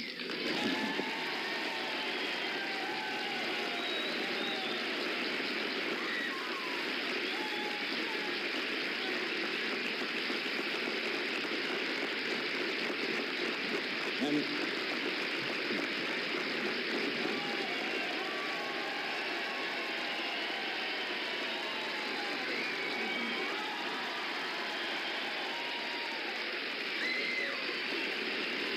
And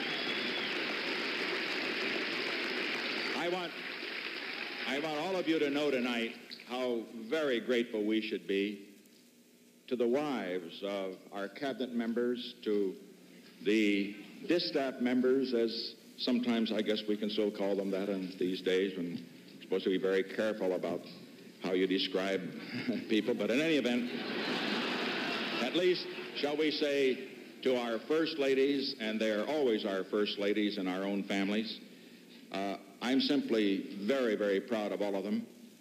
I can summarize how I feel about all of our campaign in this way.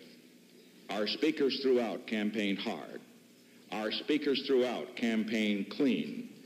They campaigned on the issues, and I'm proud of the campaign they put on, and it showed in the results.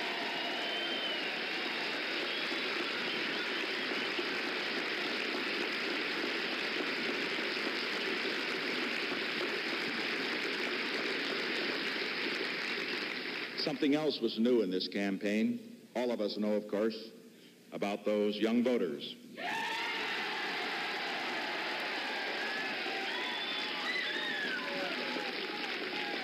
And uh, I recall at the convention that uh, we were told by some of the enthusiasts there on our convention that the predictions were wrong, that because of the overwhelming youth vote that was going to go against us, that we had a very, very hard row to hoe if we were to win this election. Let me say, based on the results I have seen today, we have accomplished what was thought to be the impossible. We've not only won a majority of the votes of America, but we've won a majority of the votes of young Americans.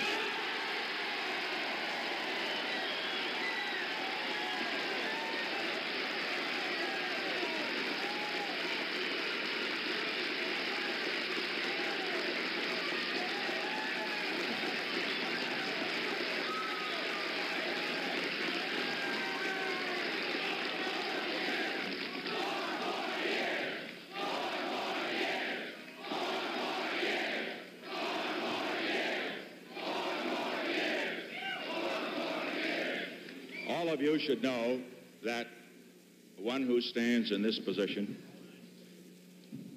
with four years ahead must think of what he wants for those four years, and we want, of course, many things. We want to do the very best job we can for all the country, for all people in our society. We want to have in mind, too, the fact that in this election, it was very unusual in another respect It was not region against region. It was not one age group against another age group. It was not party against party. I think we can be proud of the fact that as we look at our majority, which is a very large majority, it comes from all of America.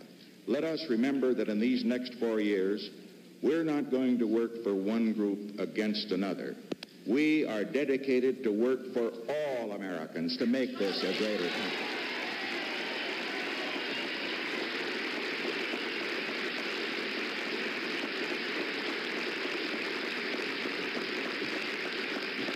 To those millions of Democrats and independents who supported us, as well as, of course, to the Republicans who supported us in overwhelming numbers, they have, you have, our deep appreciation. To all those who work so hard, our appreciation.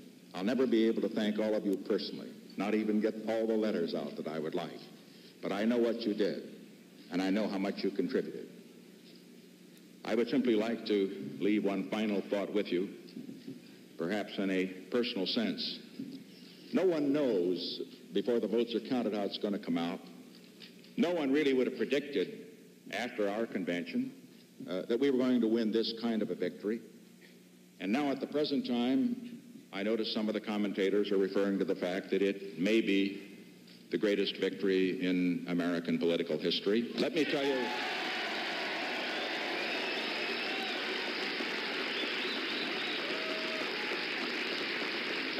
Have two reactions to that. Of course, it's great on election night to think that we've won a victory. But this will be a great victory depending upon what we do with it. In other words, we win elections not simply for the purpose of beating the other party or the other person, but to get the opportunity to do good things for our country. And the next four years will be the time that we will try to make ourselves worthy of this victory.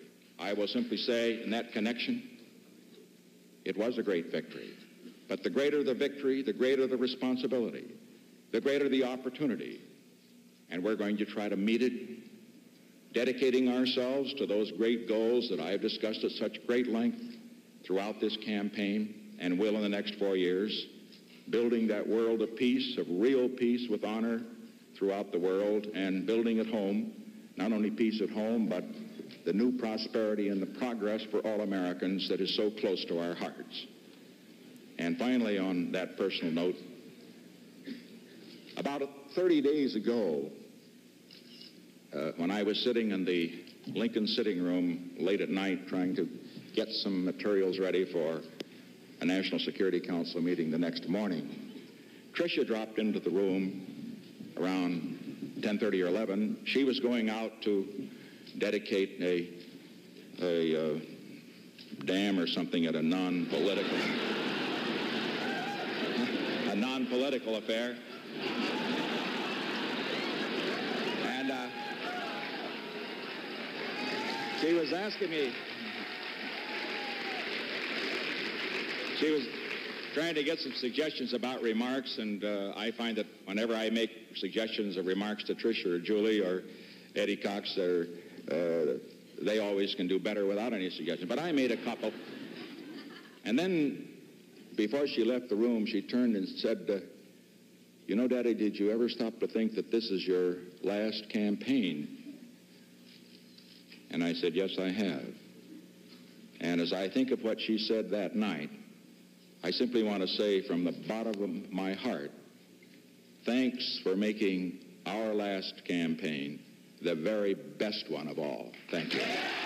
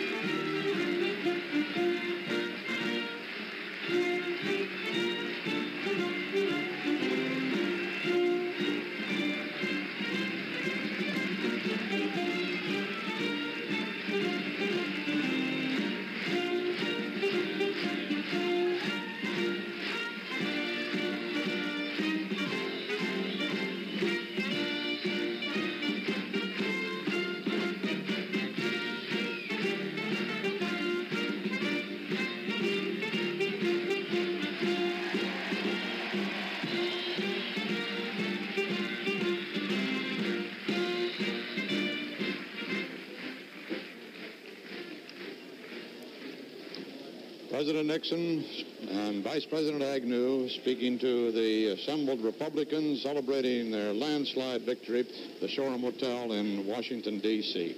Jeff Williams is with the Minnesota Senators Humphrey and Walter Mondale, who won his bid for re-election tonight. Come in, uh, Jeff, the Senators. Well, Walter, one of the bright spots for the Democrats tonight has to be here, where Senator Walter Mondale has won another term, another uh, re-election here. And a curious note is 24 years ago, he was working for Senator Humphrey. And tonight, Senator Humphrey, who is here and one of his strongest supporters, said Senator Mondale may go to the very top, to the White House. Senator Mondale, the uh, Richard Nixon was not able to carry in a Republican Senate on his coattails tonight. Do you foresee any confrontations between the Senate and the President coming up in the next four years, particularly over Vietnam? Well, I, if the war doesn't end, very definitely there'll be a confrontation. We want that war over. We hope the president wants it over. Uh, that's one of the unresolved questions at the time of the election. But that ought to be number one on everyone's agenda to end that war. But I would say it's uh, that most of us feel that the Senate should be with the president when he's right and oppose him when we think he's wrong. I don't think that uh, when we have divided government like this, that it uh, either serves the national interest or anybody's political interest just to be negative. Senator Humphrey is one of the senior men in the party now. What trends do you foresee in the Democratic Party? What new directions after Senator McGovern's rather heavy defeat? Well, I uh, would like to just personalize it for a moment. Uh, I see here in Senator Mondale the kind of politics and personality that is able to bring together the forces that are necessary for victory. If you could look around this room, you see uh, literally hundreds of young people, strong McGovern supporters. You see the party regulars, our friends from organized labor, the senior citizens, our farm people. They're here and they all voted for Senator Mondale. I mean, overwhelmingly. Uh, uh, Senator Mondale just didn't win a victory out here. That's one thing. He has over 60% of the vote right now. And uh, I think that's an amazing victory. And on top of that, uh, we've come through with legislative victories in the state of Minnesota and others. Uh, so uh, when you say, what does it take uh, to put the party back on the victory trail, uh, I think the best way to tell you is that it takes a man like Fritz Mondale, my colleague here, somebody that doesn't go too far one way, but is yet a man of great idealism and it also has a record, a legislative record. I should say that one of the legislators who got elected was Hubert's son. We got another Humphrey in Minnesota now, a state senator. Yes, I'm mighty happy. I'm mighty happy. Senator, uh, yes. I was just wondering uh, about the uh, leadership of the Democratic Party now uh, that uh, have suffered tonight uh, a defeat of landslide proportions. The Democratic National Committee has been considerably reorganized under the so-called McGovern reforms. There are some 304 members of the committee instead of 110 now. Uh, it generally conceded that uh, McGovernites in that committee uh, may total around 40% of the committee with kind of a swing vote there of old Muskie supporters. where do you think the party will go? Who will lead the party out of the depths of the despair of 72 now? Well, uh, I think we'll have to look to uh, men like uh, Senator Mondale here and uh, Ted Kennedy and others that are leaders in the Congress. Uh, I don't want to um, advocate any great purge. I think that would be wrong. There are lots of people here that were what you call McGovernites that have worked very hard, have done a good job. They become uh, active party people. They are, are Democrats. Now, we've got to make sure that what we do is to build our party and not to just tear it apart. Uh, I think I can help. I don't want anything. I hope that I can be a healing force in the party. I'm not trying to run for anything. I can assure you I'm not a candidate. You don't have to worry. I've had my time and I've enjoyed it. People have treated me well. I have uh, had many honors. Now I want to help my party and I want to help my country. And I believe I can. And I'm going to try to be a uh, force for good and for balance and for uh, uh, forward progress for our party without going off the deep end. Well, now, uh, Senator Humphrey, uh, this uh, this statement of Senator Mondale there a moment ago sounded a little bit like maybe he is running for something. your statement sounded like he is. What do you think, Senator Mondale, about the makeup of the party now and what should be done in the National Committee? Senator. It's yours. no, no, I ask you, Senator Mondale. Come on. Oh. Well, uh, I have no such plans. Uh, I've just sought the office of the Senate again. The voters of Minnesota were kind enough to send me down here. I have no such plans. I'm just celebrating a, a wonderful victory. Well, wait a minute now. I know he doesn't have any plans, and we're not trying to uh, nominate anybody tonight, but there are new leaders in this party. And one of them is right by my side, and he is a leader. He, you, he has an impressive victory here, and I submit that I know him. I know what he can do. I don't know whether he'll be the candidate in 76 or not. I hope he is. I really do, and I'm going to work for it. He has to know that, but I am. But I think that he can do that. He can do a great job as a national leader. Now, my role is entirely different. My role is what it's been in Minnesota for many years, trying to hold a party together, working for our candidates. Um, I'm not trying to be noble. I like to be a good competitor. But uh, this time I want to uh, help somebody else. Senator Humphrey, there are those who would say that what you have on your hands here is a shambles of a party. Particularly, uh, Senator Humphrey, the, the party is uh, facing disaster areas in the South, Midwest, and West. Now, isn't the party going to have to oscillate a little more toward the center, that is, away from the political left side of the spectrum, in order to have any chance at all, even in 1976? Well, first of all, let's keep in mind that we had, uh, despite Mr. Nixon's landslide victory, the Democrats did well in the Congress. We didn't lose any real strength in the Congress, particularly in the Senate. Uh, we kept some governorships. Uh, we picked up legislators. And what we're going to have to do is to get the image of our party uh, back where it belongs, namely that it's a party that's for the working families of this country, that is one that has uh, room for the young and has a definite place for the uh, elected political leadership of the nation. I think we can do it. Really, uh, you say a shambles? No, it's not a shambles. The party's not out here in a shambles. Uh, as a matter of fact, we hope that we might even be able to pull a McGovern victory in Minnesota yet tonight.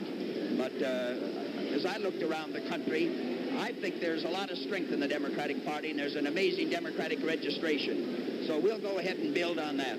Any possibility, Senator Humphrey, of getting a man of the stature of, let's say, John Connally of Texas back uh, in the fold and away from the Nixon wing? Yes, I think so. He says he's a Democrat.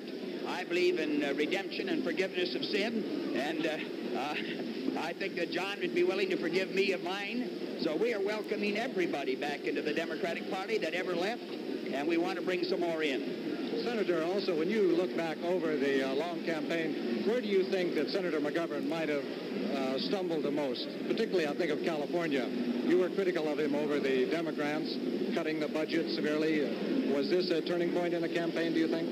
Uh, look, I'm the last man you ought to ask about uh, how you stumble. Uh, I've won some, but I've lost some. And the last couple of times in the nomination, I lost it. I'm not going to stand in criticism of it. Uh, we'll have plenty of time to work that over and look it over. I'm primarily interested now in putting our party back on good, steady ground, keeping our labor movement friends within the party, uh, bringing the coalition of the minorities, the young, the elderly, the women in this party. We were on the right track. Uh, we got, uh, I guess we got some imagery here in 72 that hurt us. But uh, we can win. We can win. I haven't any doubt about that. Senator Mondale? Yes. Uh, this is Roger Mudd. How are you? Hi, Roger. You remember a year or so ago we were talking about uh, the New South, and you said uh, how interested you were in uh, yes. the, the, moderating uh, yes. movements in the South.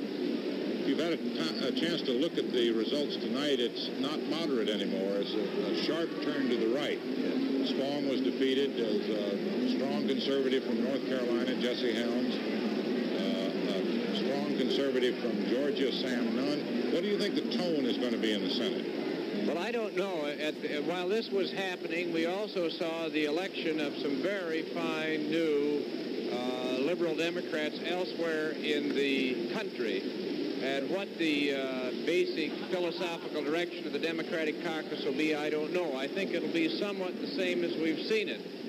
Uh, I was uh, particularly saddened to see the loss of Senator Spong, who I thought, uh, we disagreed on many things, he's a Southerner, but I thought Bill Spong was one of the outstanding uh, legislators in the country. That almost broke my heart when the news came through. But, but given, uh, Senator, um, the, overwhelming vote that the president got, just how much effective opposition can you mount against an administration which has pulled in 65% of the vote? Well, I think uh, when uh, when they're wrong, I think we've got the votes to stop them in the Senate. The last uh, part of this Senate session, we, we were able to show the president that uh, on these uh, budgetary matters where human issues were involved, human programs were involved, I think we showed a great deal of strength. And I believe in the new Senate we can do the same. Now, when the president's right, I think we ought to support him. But I think there is a strong Democratic majority in the Senate, and I think we can operate for the best interests of our country. I've just won by an overwhelming vote here in Minnesota. I'm not bragging, but I ran as a liberal Democrat. I didn't hide my record. I ran on a program of social reform, of, uh, of progress in helping human beings, better health for our old people, to strong programs to protect the environment. I didn't pull my punches one single bit. And my opponent attacked me as being too liberal. The voters listened to both sides and elected me uh, by an overwhelming margin. I think the people of this country uh, want progress, and I think if the president reads this election as a strong endorsement uh, and a move to the right, I think he's just plain wrong, and I think you'll find that out. Thank you very much, Senator Mondale. Thank you, Senator Humphrey. We're climbing up now toward almost half of the nation's vote counted, and uh, President Nixon has 34 million votes to George McGovern's 14 million votes. That is a slip in the percentage margin that the president has over Senator McGovern. 62% now of the vote uh, has gone to the president to 37% for Senator McGovern. Uh, that is slipping down toward that 61.1% margin with which uh, President uh, Johnson defeated Senator Goldwater in 1964, which is the highest uh, percentage of any popular vote margin in our history, in our recent history at any rate, the last hundred years. And uh, that is a figure that obviously President Nixon would like to beat tonight. But at the moment, uh, he's down to 62%. On the electoral vote, it looks like uh, the second greatest defeat ever handed uh, to a candidate, with Nixon 498 electoral votes now and leading for the 10 outstanding votes for 508, McGovern 17 electoral votes. Only those in Massachusetts and in the District of Columbia have gone to Senator McGovern. However, he will not go down as the heaviest loser in electoral votes. That honor still goes to Alf Landon of Kansas, defeated by Franklin Delano Roosevelt in 36. An interesting thing about these figures tonight, in the early part of the evening, state after state was reporting record voting. However, it turns out that uh, those were overestimates on the part of the secretaries of state around the uh, United States. Uh, it is not going to be a record, it looks like now. Uh, CBS News estimate, based on the vote counted so far and in our sample precincts, would indicate 74 million votes cast uh, this year. It would take 88 million votes, another 14 million, to establish a, a new record. And this figure, as a matter of fact, with 74 million, is right down about 53.5 percent of the eligible voters in the United States. That would be the, the lowest percentage uh, since 1948, when in that uh, election year when Harry Truman upset uh, Tom Dewey, 51.5% of the eligible voters actually cast a vote. This is Walter Cronkite at CBS News Election Headquarters. We want to take a look again at our uh, presidential vote. Uh, they tell me that our computer was showing a 10 million vote error at that time. I don't recall what it was, but uh, whatever we said uh, seems to have been wrong. At any rate, we got another 1% of the nation's precincts counted now, and President Nixon has 24,644,000. George McGovern, 14,495,000. That percentage remains the same, 62% and 37%. We have a couple of uh, calls out uh, west in the uh, gubernatorial races. In Washington, Republican Dan Evans has turned back uh, governor, former Governor Albert Rosellini, who was trying to unseat him, as even Dan Evans had done to him uh, several years ago. But uh, Rosellini failed. The Republicans hold on to the state house in Washington. In the state of Montana, Democrat Thomas Judge has won the governor's race, defeating the Republican Ed Smith. The retiring governor was Democratic, so there's no change in the state of Montana. Dan Rather, can you give us a fill-in now on what's been happening in the Middle West? Well, as a matter of fact, Walter, uh, I know that some people may be thinking that tonight's election, once you got past the early hour, has been about as dull as watching grass grow, but there's some pretty exciting things happening in the Midwest. Uh, first of all, in Minnesota, this is George McGovern's last stand in Minnesota. And in the actual vote count in Minnesota, McGovern actually leads. Uh, well, we've just had a change, uh, but this is the CBS News estimate. And our estimate at the moment is that President Nixon uh, has a significant lead in Minnesota and may be carrying the state uh, by as much as 52 percent. Now, Minnesota is uh, the last of in the Midwest. If McGovern doesn't carry Minnesota, that means he's been wiped out completely in the Midwest, not carrying a single state there. In the Missouri governor's race, Missouri has not had a Republican governor since 1940. Christopher Kit Bond was one year old the last time Missouri had a Republican governor. With 63% of the precincts reporting, this is the actual tabulated vote. Bond uh, has a widening lead over Ed Dowd, a former FBI agent uh, and a man uh, who is the father of eight children.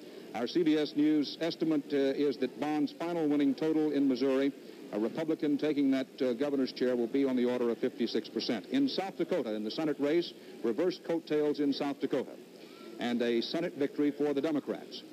In that uh, James Abourezk, CBS News estimates he has won the race uh, with a total of about 54% of the vote. Now, George McGovern couldn't carry his home state, but in South Dakota, Apparently, Democratic uh, candidates have won in the governor's race and in the Senate race. Abourezk uh, is a dove on the war. He has been a congressman.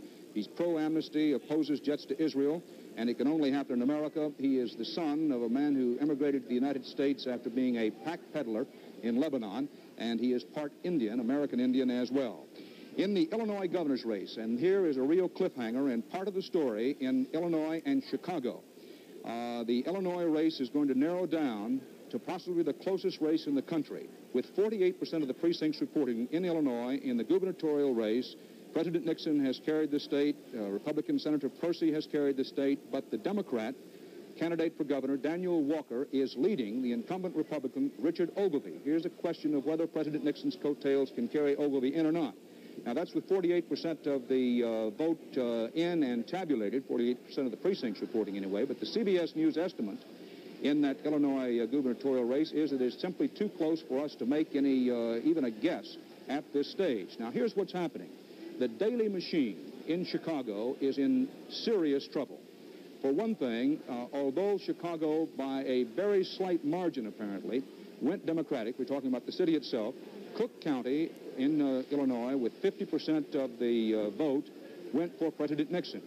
And Mayor Daley's wards simply have not, up to this point, delivered for him. And in the all-important race for the state's attorney in Cook County, it's a tight race between Edward Hanrahan, the incumbent, and the so-called protector of the Daley machine, in that he has the strings on what is investigated and what is prosecuted and what isn't. Hanrahan, at our last report, was trailing the Republican Bernard Carey in that all-important race uh, for state's attorney in Cook County. Now, the Daley people were very quick to say, all during the campaign, that in this Hanrahan Carey race, it was a matter of survival of the machine. It was life or death for the machine. If Hanrahan left, that the Daley machine might well be through in Illinois. Now, we're not prepared to say as yet that Hanrahan has lost the race, but it's very, very tight, and Hanrahan is trailing.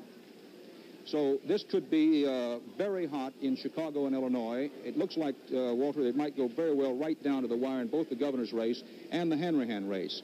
Now, in Iowa, incumbent Republican Governor Robert Ray has won with 55% of the vote. In North Dakota, the race for governor is too close to call between Republican Richard Larson and Democrat Arthur Link. And for whatever it may be worth, Walter, you recall we told you once, I think, that a man running for Congress in Missouri was running on the slogan, it's fourth down and goal to go America.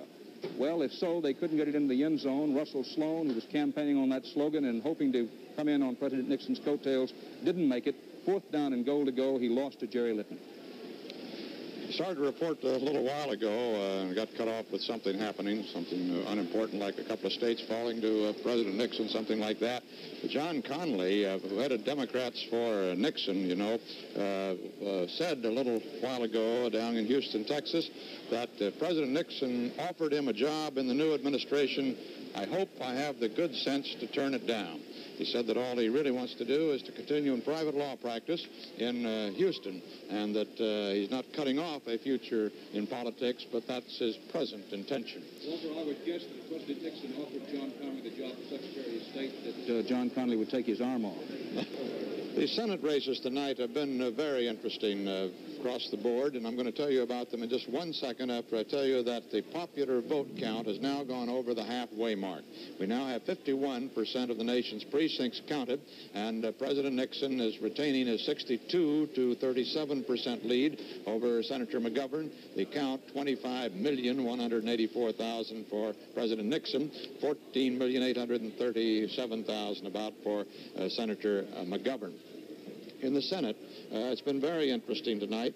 The Republicans have lost four seats. Uh, the Democrats have lost four to the Republicans. So it's a push so far. There are three races outstanding which are quite interesting, uh, very close, in Delaware, Colorado, and Montana. I'm going to call on Mike Wallace to tell about us about that close Delaware race, and then we'll go to John Hart for the two western races in Colorado Montana. Mike? Walter, take a look at that uh, board that shows the Delaware race. 93% of precincts in Delaware are now reporting, and Senator Caleb Boggs has 107,492 votes. 29-year-old Joseph Biden has 107,599 votes. In other words, Biden is just a little bit ahead in Delaware. As I said earlier, he's the new Castle County Councilman. He'll be 30 years old, old enough to get into the Senate should he, uh, should he win on November the 20th. And he's run an extraordinary campaign. From 38 points down in August, he's come all the way up to be neck and neck with Senator Caleb Boggs. In a sense, it's the script of the candidate all over again. Boggs, the man who said that he could do everything that had to be done for Delaware. Biden, the young fellow who wanted to talk about ecology and taxes and one thing and another. And there they are neck and neck. And I guess it's not going to be decided, who knows, a half an hour, an hour, two hours, Walter. Maybe, uh, maybe not till the recount. It's that close at the end. John Hart, how about your two Senate races? Surprise for the Republicans in Colorado, Walter. Uh, they had expected uh, Republican Senator Gordon Llewellyn Allott to win uh, by eight or ten points. At least that's what the polls showed. But um, Democratic lawyer from Denver, Floyd Haskell, who was a Republican until two years ago and left the Republican Party, differing with President Nixon on the invasion of Cambodia and the nomination of Harold Carswell, has surprisingly been leading Senator Allott throughout the evening, anywhere from two to six to 7,000 uh, votes. And it fluctuates back and forth, but it's far too close to call yet. But it is a surprise that they are that close and that Floyd Haskell is leading. Uh, before we move on to Montana, the other pending race, we want to mention that the Idaho Senate race has been won by the Republicans. The Republican seat left by Len Jordan, who retired, won by Congressman James McClure, a three-term conservative congressman, uh, winning over uh, William Bud Davis, who was president of Idaho State College and who said upon resigning in order to run, only a man who was out of his gourd would give up his job as university president. He may be saying that again tonight. In Montana, we haven't mentioned this this evening. Uh, Senator Lee Metcalf uh, wanting to return to the Senate. He is a, a, liberal Democrat, one of the founders of the ADA, running against uh, Henry Hibbard. Uh, he seems to be fairly uh, comfortable with only 19% of the vote in, but uh, we can't tell exactly at this point what's going to happen in that race, although Metcalf has a comfortable lead. In the Montana governor's race, was won by Lieutenant Governor Thomas Judge, Lieutenant Governor DeForest Anderson, who retired this year, winning over uh, Edward Big Ed Smith, a six-foot-five rancher from Dagmar, who dropped out of school in the eighth grade to become a big-time rancher of sheep, cattle, hogs, and grain. The interesting thing in this race, Walter, is that uh, one of the big arguments was a two to six million dollar surplus in the state treasury in Montana. The Republicans accusing the Democrats of uh, too much of a surcharge by taxes, and the uh, Democrats saying, well, no, that's because we were so efficient. It's interesting where a state has a surplus to argue about instead of the other way around. Taxes have brought down a lot of governors tonight. And then the uh, from Saigon, we have uh, the first reaction of the South Vietnamese government to President Nixon's uh, reelection. It said that it uh, showed the American people voted according to common sense for peace with honor. That, uh, with regard to the continuity of American policy in Vietnam and the restoration of a just peace, we are very pleased to share the wise choice of the American people. The statement of Foreign Minister Tran Van Lam. CBS News coverage of Election Night 72 will continue in a moment. Texas, Houston to be exact, a new uh, district there, has elected the first black woman to Congress ever elected to, to Congress from the South. She is Barbara Jordan, and in Houston, Jed Duvall is with her now. Jed? Thank you, Walter. Uh, Ms. Jordan, as you heard Walter explain, of course, you're the first black woman elected to Congress from the South. All right. Uh, does this frighten you a bit, being this much a part of history? Well, it really doesn't uh, frighten me because I've been a part of history before. The first black woman elected to the Texas State Senate and uh, served in that body. And I just think that uh, being a part of history uh, provides a challenging opportunity which otherwise would not be provided. Now, this was a new district that you were elected from. Did you get help from the Texas white establishment in creating that district? Did you have a hand in well, that? In drafting the bill which created this new legislative district, it had to be passed by the Texas State Senate, by the House of Representatives, signed by the Speaker of the House, the Lieutenant Governor, and the Governor. Now, if that constitutes white establishment help, I needed the cooperation of all of those bodies, the interworkings of that structure, to create the district, and I did have their help. But look ahead now. You go off to Congress, and uh, as a result of what you've seen tonight, the tremendous mandate given the Nixon administration, what do you look forward to? Well, I uh, think the Congress will reassert its independence as the legislative branch of government providing a check and a balance to the actions of the executive. Mr. Nixon did receive a mandate, but the United States Congress is going to be democratically controlled, and I think that Congress will provide the proper kind of balance and weight to the kinds of decisions which Mr. Nixon would make. Thank you very much. The first okay. woman elected the first black woman elected to the Congress from the South, Barbara Jordan of Houston. We might note uh, that Shirley Chisholm, uh, who was uh, the first black uh, placed before a convention for nomination, who ran uh, uh, as a candidate for the Democratic nomination, has won re-election in her New York district by a large margin, 87 percent. Yvonne Brathwaite Burke who won uh, great prominence uh, as the uh, as one of the chairpersons at the Democratic National Convention, running from the Watts district in Los Angeles. We have no returns as yet on that race. For some thoughts on, oh, one thing we just had a call for the CBS News estimate, uh, at any rate, uh, from the state of Montana, uh, indicating that Democrat Lee Metcalf has uh, won uh, re-election there. When the, all the votes are counted, uh, we believe the total will be around 54% of the vote uh, to his opposition, 46%. Now for some thoughts on President Nixon's new mandate. Let's go back to Eric Sevareid. Well, we heard a good deal from Hubert Humphrey a little while ago about the necessity to heal the wounds of the Democratic Party and their future. But what's really more important, of course, is where the re-elected president will take the government and take us all in the next four years. He's now stronger than his own party, of course. Doesn't have the Senate or the House, but he's got some ideological change in the Senate that may help him to a degree. There will be new appointments. He may have one or two uh, Supreme Court judges to appoint in the next four years. There will be some cabinet changes, obviously, which have been much discussed. Mr. Agnew seems very well positioned as of now for the run four years from now. The John Connally future in that direction doesn't look particularly rosy, I wouldn't think. I don't know what Teddy thinks about that, but uh, uh, I would think one thing, Teddy, that the president do a lot of traveling in the next uh, year or so, wouldn't you? He loves that, and there are things to do in Europe, particularly. I think he regards this as foreign policy has always been that thing which interested him most. he's just taken what he considers are the first steps in foreign policy. There are dreams he talks about of a great European summit conference to finally settle World War II in Europe.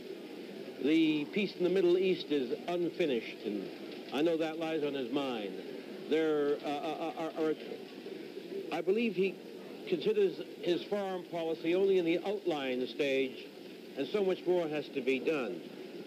Uh, uh, I think, though, he's uh, much of this is going to be governed by the whole problem of the budget, taxes, inflation. Uh, the budget's essentially out of control. Uh, even if you added no more big programs, you're going to uh, probably have to raise taxes. The inflation still worries them a great deal. I would think on domestic things there's going to be a hold down, a slowdown all around, wouldn't you? Uh, well, I think so. I think also there's going to be a new shape to that thing as he reshuffles his cabinet. We all know that Secretary Laird is leaving. I believe Secretary Rogers is leaving. There's even the possibility that uh, the Attorney General may be replaced. There are several others who may be replaced. I'll, I believe that his relations with Congress will depend to a great extent upon how he reshuffles that cabinet.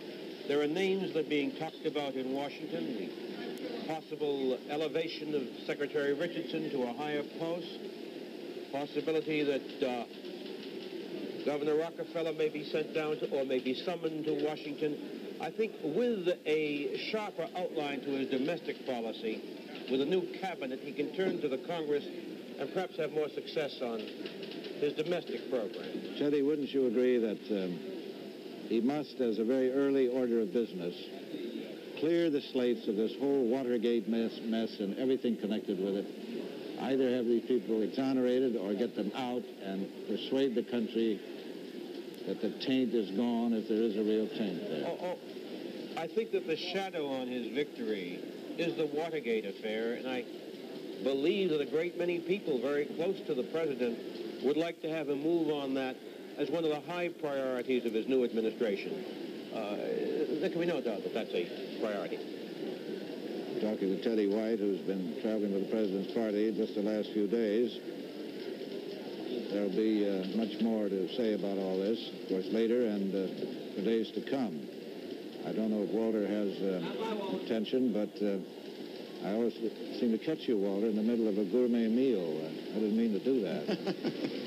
well, Eric, it's about the only chance I have to uh, spray the troubled throat. Take the little bit of, of soft soft drink, soda pop or something to keep going. The it, uh, however, looks like one of our earliest election nights, I must say. Uh, in I, I, can't remember one in these last uh, 20 years uh, that uh, which we're likely to be leaving here quite so early as tonight. CBS News coverage of election night 72 will continue in a moment. In the Montana Senate race, Senator Lee Metcalf has won over Henry Hibbard, a two-term state representative who ran supporting Nixon on the war. Metcalf um, may have gotten some help from grousing in the state over the Russian wheat deal, a wheat-growing state. He was anti-war, pro-amnesty all the way. In Washington, we haven't announced the um, governor's race there, which was won by Daniel Evans. And this is something of a surprise because uh, he was being crowded very hard by Albert Rosellini who, uh, whom he denied a third term eight years ago and who tried to deny him a third term this time and didn't do it. And we want to remind you that the Republicans did pick up a Senate seat in New Mexico. Uh, Pete Domenici running as a Nixon Republican against Jack Daniel. Walter? Actually, uh, in all of the 33 Senate races, neither the Republicans nor the Democrats made a net gain, at least not up to uh, this hour. The Republicans uh, took four seats from the Democrats, and the Democrats four seats from the Republicans.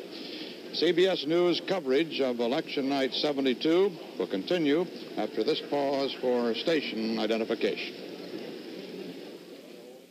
This is CBS.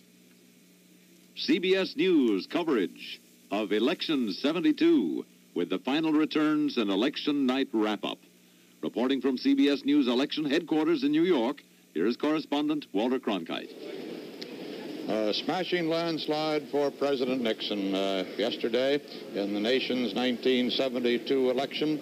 The man who uh, barely lost the presidency in 1960, barely won it in 68, piled up a majority that may very well go down in history as the greatest in our history. At this moment, 56% of the vote uh, has been counted, and the president leads with 62% of the vote to McGovern's 37% of the vote. The figure's 27,341,000 for Richard Nixon, 16,158,000 for uh, Governor uh, Senator McGovern. Uh, that uh, gave Nixon that sweep uh, all of the states except Massachusetts and uh, the District of Columbia. A total of 17 electoral votes uh, for McGovern, 498 electoral votes uh, already counted for President Nixon, and it appears that he will get uh, the rest of them. That McGovern will come out with just 17 electoral votes. Also, the House and the Senate. There, the coattail effect did not work this time. President Nixon's victory was a personal victory and not a party victory, apparently. Uh, this, the Republicans needed to win a net gain of only five seats to win control of the Senate. Uh, they are failing to do that uh, tonight, and the Senate will be firmly in Democratic hands again. Uh, they, they the Republicans have elected 16 senators, the Democrats 14 senators. There are three outstanding uh, seats as yet that uh, have not been determined, but under no circumstances can the Republicans win control. The House, the Republicans have won 132 seats, the Democrats 188 seats. Our uh, VPA figures, our vote profile analysis of selected precincts around the country, indicates to us that the Democrats will end up with 245 seats, the Republicans 190. That would mean a net loss of 11 seats to the Democrats, but uh, they hold a majority of 39 now. They would hold thus a majority of 28 in the new House of Representatives meeting in January. Uh, that's figure for the estimate is give or take eight seats. Not enough, obviously, to affect uh, the total outcome and the makeup of the new House of Representatives. In the Congress, uh, in the uh, uh, gubernatorial races for the state houses, there were 18 uh, House state houses up this time. The Democrats had 20, uh, seat, 20 state uh, governments before, uh, the governorships, that is. The Democrats had 30. The Republicans have won six of the 18 races up. The Democrats have won eight. Four are still outstanding. In that case, it is also a push so far. The Democrats have taken two governorships from the Republicans, and the Republicans have taken two governorships from the Democrats. No coattail effect uh, in the major races for the control of the Congress or the uh, control of the uh, state uh, governorships. Uh, whether the coattail effect may be seen in some lower state races or local races, that will remain to be seen when those total votes are in in another day or two. CBS News coverage of Election Night 72 will continue in a moment. Let's get a little wrap up of the Midwest now from you, Dan Rather. Walter, you can color all of the Midwest uh, Republican in terms of the presidential race, with the exception of Minnesota. Senator McGovern and President Nixon running as close as fingers in that state. Uh, President Nixon seems to have uh, a lead on the basis of our CBS News estimates, but the race is by no means decided, and it may be a while before we know about Minnesota. Otherwise, uh, in the Midwest, really only two races uh, of any national interest to be decided as yet and one of them may be of considerable national interest, and that is the gubernatorial race in the state of Illinois. Democrat Daniel Walker, most of the evening, has been clinging to a lead over the incumbent Republican Richard Ogilvie. It's been uh, about a 100,000 vote lead for the last several hours. This is the actual vote in and tabulated. 55% of the Illinois precincts in and tabulated. Now, Walker's lead is mostly on the basis of what he got out of Chicago and Cook County. He got a, a fairly good-sized lead out of the Chicago and Cook County area where 50% of the vote is, but nothing like the old uh, Dick Daley machine uh, leads that Democratic candidates normally come out of there with. But it's a weird situation in that Ogilvie, who instituted Illinois' first uh, income tax, is not doing nearly as well in downstate Illinois, in the Corn Belt area and Springfield, uh, which normally rolls up enormous Republican margins. And on any other occasion, you might say that Walker, even with his uh, lead, would uh, probably lose it as the morning goes along, but that's by no means certain. And this is a very important race in that whether Ogilvie, the incumbent Republican, wins or Walker, the Democratic challenger, whichever man uh, wins it, he's going to be a big factor, uh, one of the kings in the political chess game of his party for the future. Now, the other story in the Midwest is that there is uh, a barn burner in the city of Chicago. The Dick Daley machine is fighting for survival, and it's the hottest time in that town since uh, Mrs. O'Leary's cow perhaps kicked over a lantern and started to fire of some note. In that the Daley machine, their whole game uh, in this election was to try to pull out the state's attorney in Cook County. Edward Hanrahan, the Daley man, and a man who saw himself as possibly the successor to Mayor Richard Daley in uh, Chicago, with all that implies, trailing uh, Bernard Carey, a former FBI man, by a substantial margin with most of the votes in. And Walter, its uh, reports of the death of the Daley machine may be premature, but it is a possibility. For some final thoughts on this election night, back to Eric Sevareid. Well, Walter, I've uh, about run out of uh, final and semifinal thoughts, but um, I've got with me uh, a very distinguished, very sophisticated European who knows this country exceedingly well. And I thought it'd be uh, nice to hear from somebody from a different point of view than the rest of us who are here in the middle of the bear pit. And that's Luigi Barzini, very distinguished Italian journalist and author and parliamentarian, now up at Harvard, and an old friend of CBS News and of mine. Luigi, uh, the European, how does, is this an important election for Europe? Well, it's very strange to talk to you so early in the night, Eric. I usually talk about 4 o'clock waiting for the returns from Texas. Well, of course, it is a very important election for the Europeans. So much so that I think we should be allowed to vote, uh, perhaps. I think they're a good idea. Someday. Uh, of course, foreign affairs was not an issue. It was not debated. There were just a few speeches dedicated to some aspects of foreign affairs the only foreign affair that was really touched upon was more of an internal affair. It was the Vietnam War. But though, although the foreign affairs was not debated, the consequences of an American presidential election in the foreign field are tremendous. Uh, I think uh, President Nixon has ahead of him some of the greatest problems he ever tackled outside Vietnam, of course. With Europe, you mean? Well, Japan, Japan, yeah. India, Bangladesh, and Europe.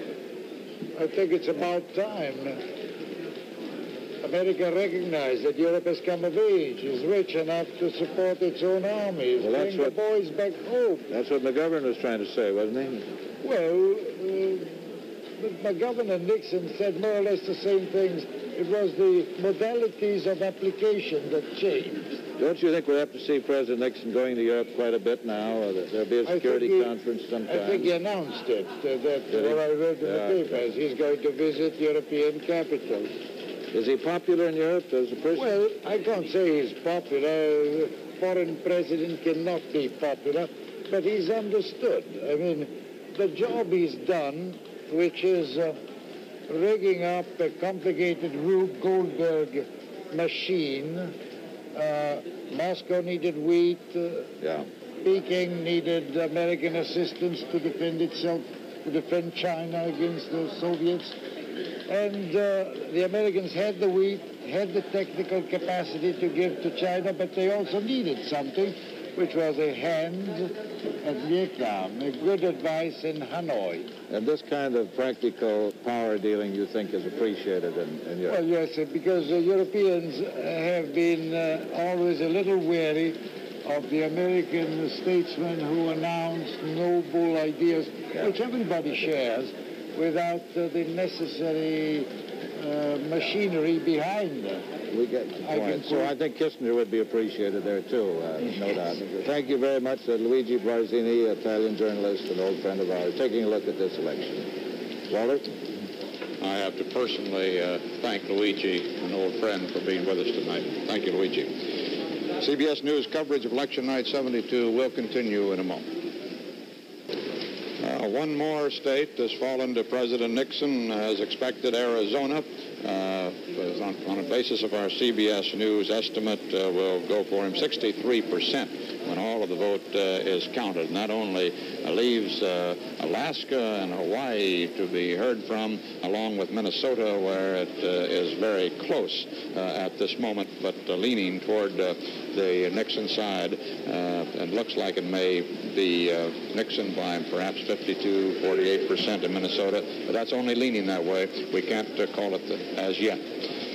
Well, gentlemen, we've uh, seen a historic landslide here tonight, and each of you have had uh, report uh, that uh, some of the anomalies in uh, your areas uh, in this landslide.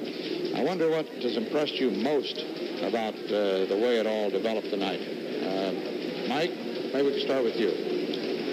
The pollsters were right, and there were some doubters for a while this morning, as a matter of fact. And if I may report just one thing from my friend over at Yankelovich, Yankelovich poll, which did its work for the New York Times and Time magazine. The pollster says that she was also impressed with the fact that we found that 73% of the registered voters say they are sick and tired of hearing people attack patriotism, morality, and other traditional American values, and among Nixon voters, the figure is even higher, 81%. And I think myself that that had a good deal to do with the fact that Nixon took the East today, and that probably is part of the reason that it didn't rub off in the way of coattails. Who, who do they who do they think? Did, did she say, Mike, uh, attacks patriotism and morality? I don't know of anybody attacking these two uh, constants, I always thought. I haven't, uh, I don't have the question here in front of me. Sick and tired of hearing people attack patriotism, morality, and other traditional American values. What I imagine it means is uh, that in the, in the, perception of millions of American people, uh, that's what was being done at the uh, Democratic Convention. And I'm sure that they perceive McGovern and McGovern supporters as doing that down through the months since. This is a, an assertion that uh, that to be against the Vietnam War and the president's position on it is an attack on patriotism. Uh, uh, I, I, should get the specific uh, the question that was asked, Walter, but this is uh, from the lady at Yankelovich. That, that's the uh, that's the the AAA charge that the Republicans laid against uh, the McGovern people, uh, amnesty, abortion, and acid. Right. I think that sums. I think that's what they're getting at. Uh, what, what uh, uh, Roger? What about the solid South now? Solidly Republican this year. Uh, it did bring in some Republican senators, and Republican governors for the first time since Reconstruction. But do you think that this portends a, uh, a, period of Republican domination in the South? Well, until we can find out just how the, the party did below the federal level, below uh, Congress and gubernatorial and Senate, it's, it's hard to make a conclusion. The, the, the, interesting thing and the thing that we all overlook because we don't handle such figures on an election night is the changing nature of the population in the South. This massive uh, infusion of uh, industry, has brought uh, people into the South uh, who were not born there. And uh, so the values are changing. The suburbs in the South are growing. Income is rising. Uh, the standard of living is going up. And this has uh, increased the re Republican registration. It has uh, caused people to break away because from their old Democratic traditions because they have not lived in the South before.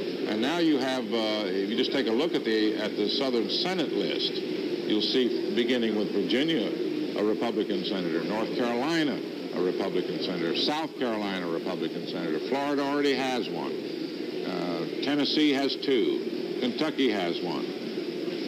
Uh, governors are spread through the South now, Republicans. Uh, already in Virginia, Tennessee, and now you add, uh, what can we add now? North Carolina, you may add Texas.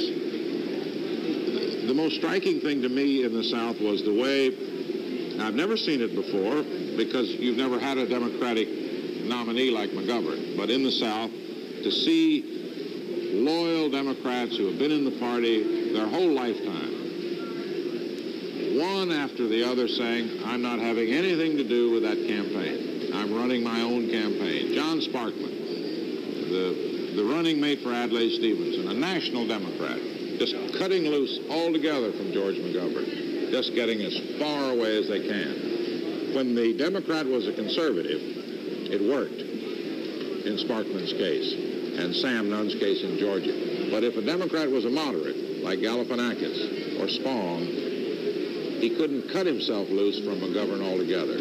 They were able to tie him in.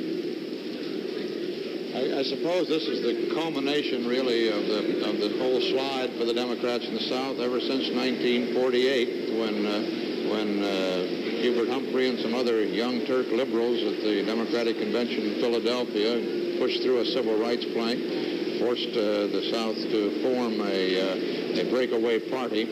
Ever since then, uh, the slide has been downhill for the Democrats in the South. Well, that 48 uh, presidential race enabled the South uh, to vote for a party other than the Democratic Party. The word in Minnesota was that while Walter Mondale, the Democratic senator who won re-election tonight, and Hubert Humphrey worked for George McGovern in Minnesota, that they didn't actually work all that hard. Uh, it may well be that uh, what we're in the middle of here is what the political scientists and the sociologists call uh, great transitional change. But I think in the Midwest, at least, and it, may be true all over the country, we've seen tonight a counter-revolution of the American middle. They are rejecting uh, what they see as the bankrupt liberalism of the 1960s. Uh, they wanted the middle road candidate. They see President Nixon as representing both a return to normalcy and change. With George McGovern, they saw what they perceived to be radical change. Now, the danger for the Democratic Party, looking at these Midwest returns, is that for the first time in a long while, the guys in the back of the shop, union card-carrying members, blue-collar guys, said no to their union bosses uh, didn't vote that way. They were sophisticated enough to split their ticket. A lot of people in Chicago who for years had gone in and pulled the lever for Democrats and Democrats only, split their ticket. Mayor Daley, uh, in deep trouble, if not uh, fatally wounded politically, at least critically wounded. Uh, it's, it's a shift to the middle. That's what people are demanding. Uh, one note, I know you want to move on. Uh, Michigan is voting two to one against liberalizing abortion laws. California is voting to restore the death penalty also. But that's in John Hart's department. John, uh, what about your thoughts, uh, what's happened out in the West tonight? Well, the pollsters there were conservative, as I think they were generally nationwide, as you indicated, Mike. Uh, Mervin Field pulled up uh, until the weekend before the election and found a 14-point separation holding. Um, we indicate uh, on the CBS estimate it's going to be far more than that, 23%. The Democrats and the Republicans both did a lot of canvassing in California, Walter, and uh, they went after the Democratic vote. That is, uh, the Republicans went after the Democrats who uh, indicated interest in Nixon, and the Democrats went after the same voters. an interesting thing, uh, the Republicans put on a big effort to get out those Democratic for Nixon votes the Democrats did not make any effort to differentiate. Uh, it was sort of an idealistic thing. Well, if we've done our job right, we'll win, and, and if we and if we don't, we didn't.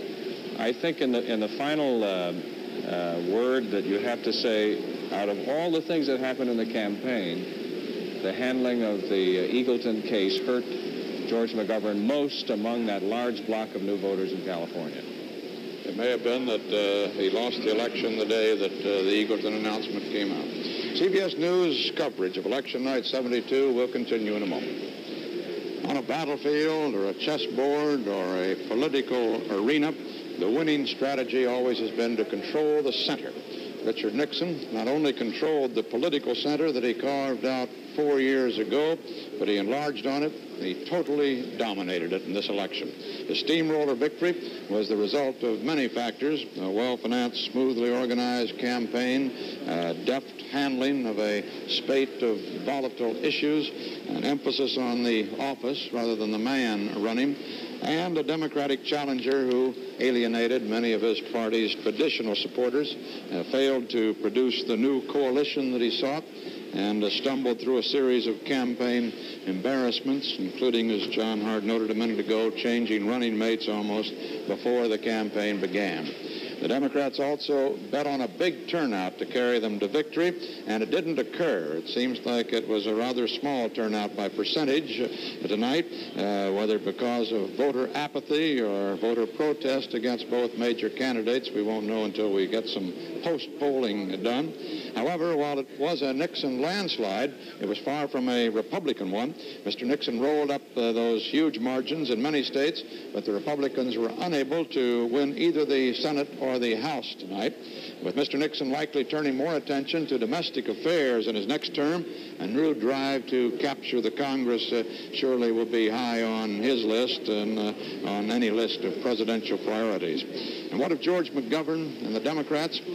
Well, he'll continue as a senator, but perhaps not again be a presidential nominee. His party will regroup Maybe it'll shift to the right. We'll have to wait and see. But it too will survive and fight again. As a matter of fact, it's in better shape tonight uh, than the Republicans were after Goldwater's uh, defeat in 1964. At least it controls the Congress, which the Republicans did not at that time.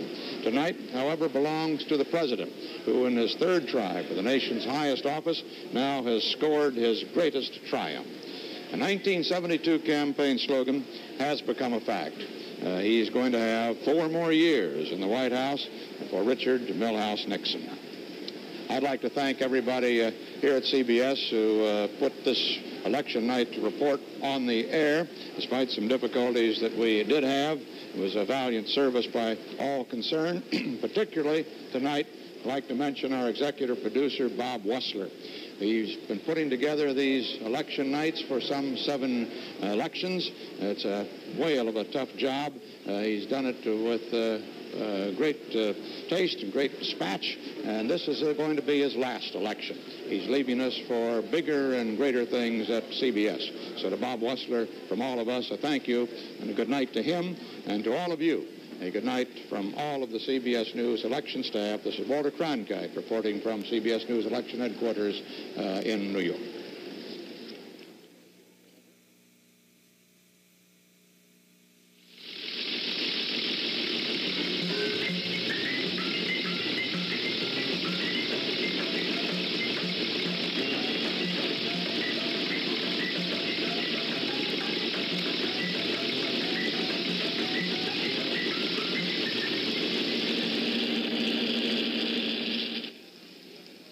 This has been CBS News coverage of Elections 72.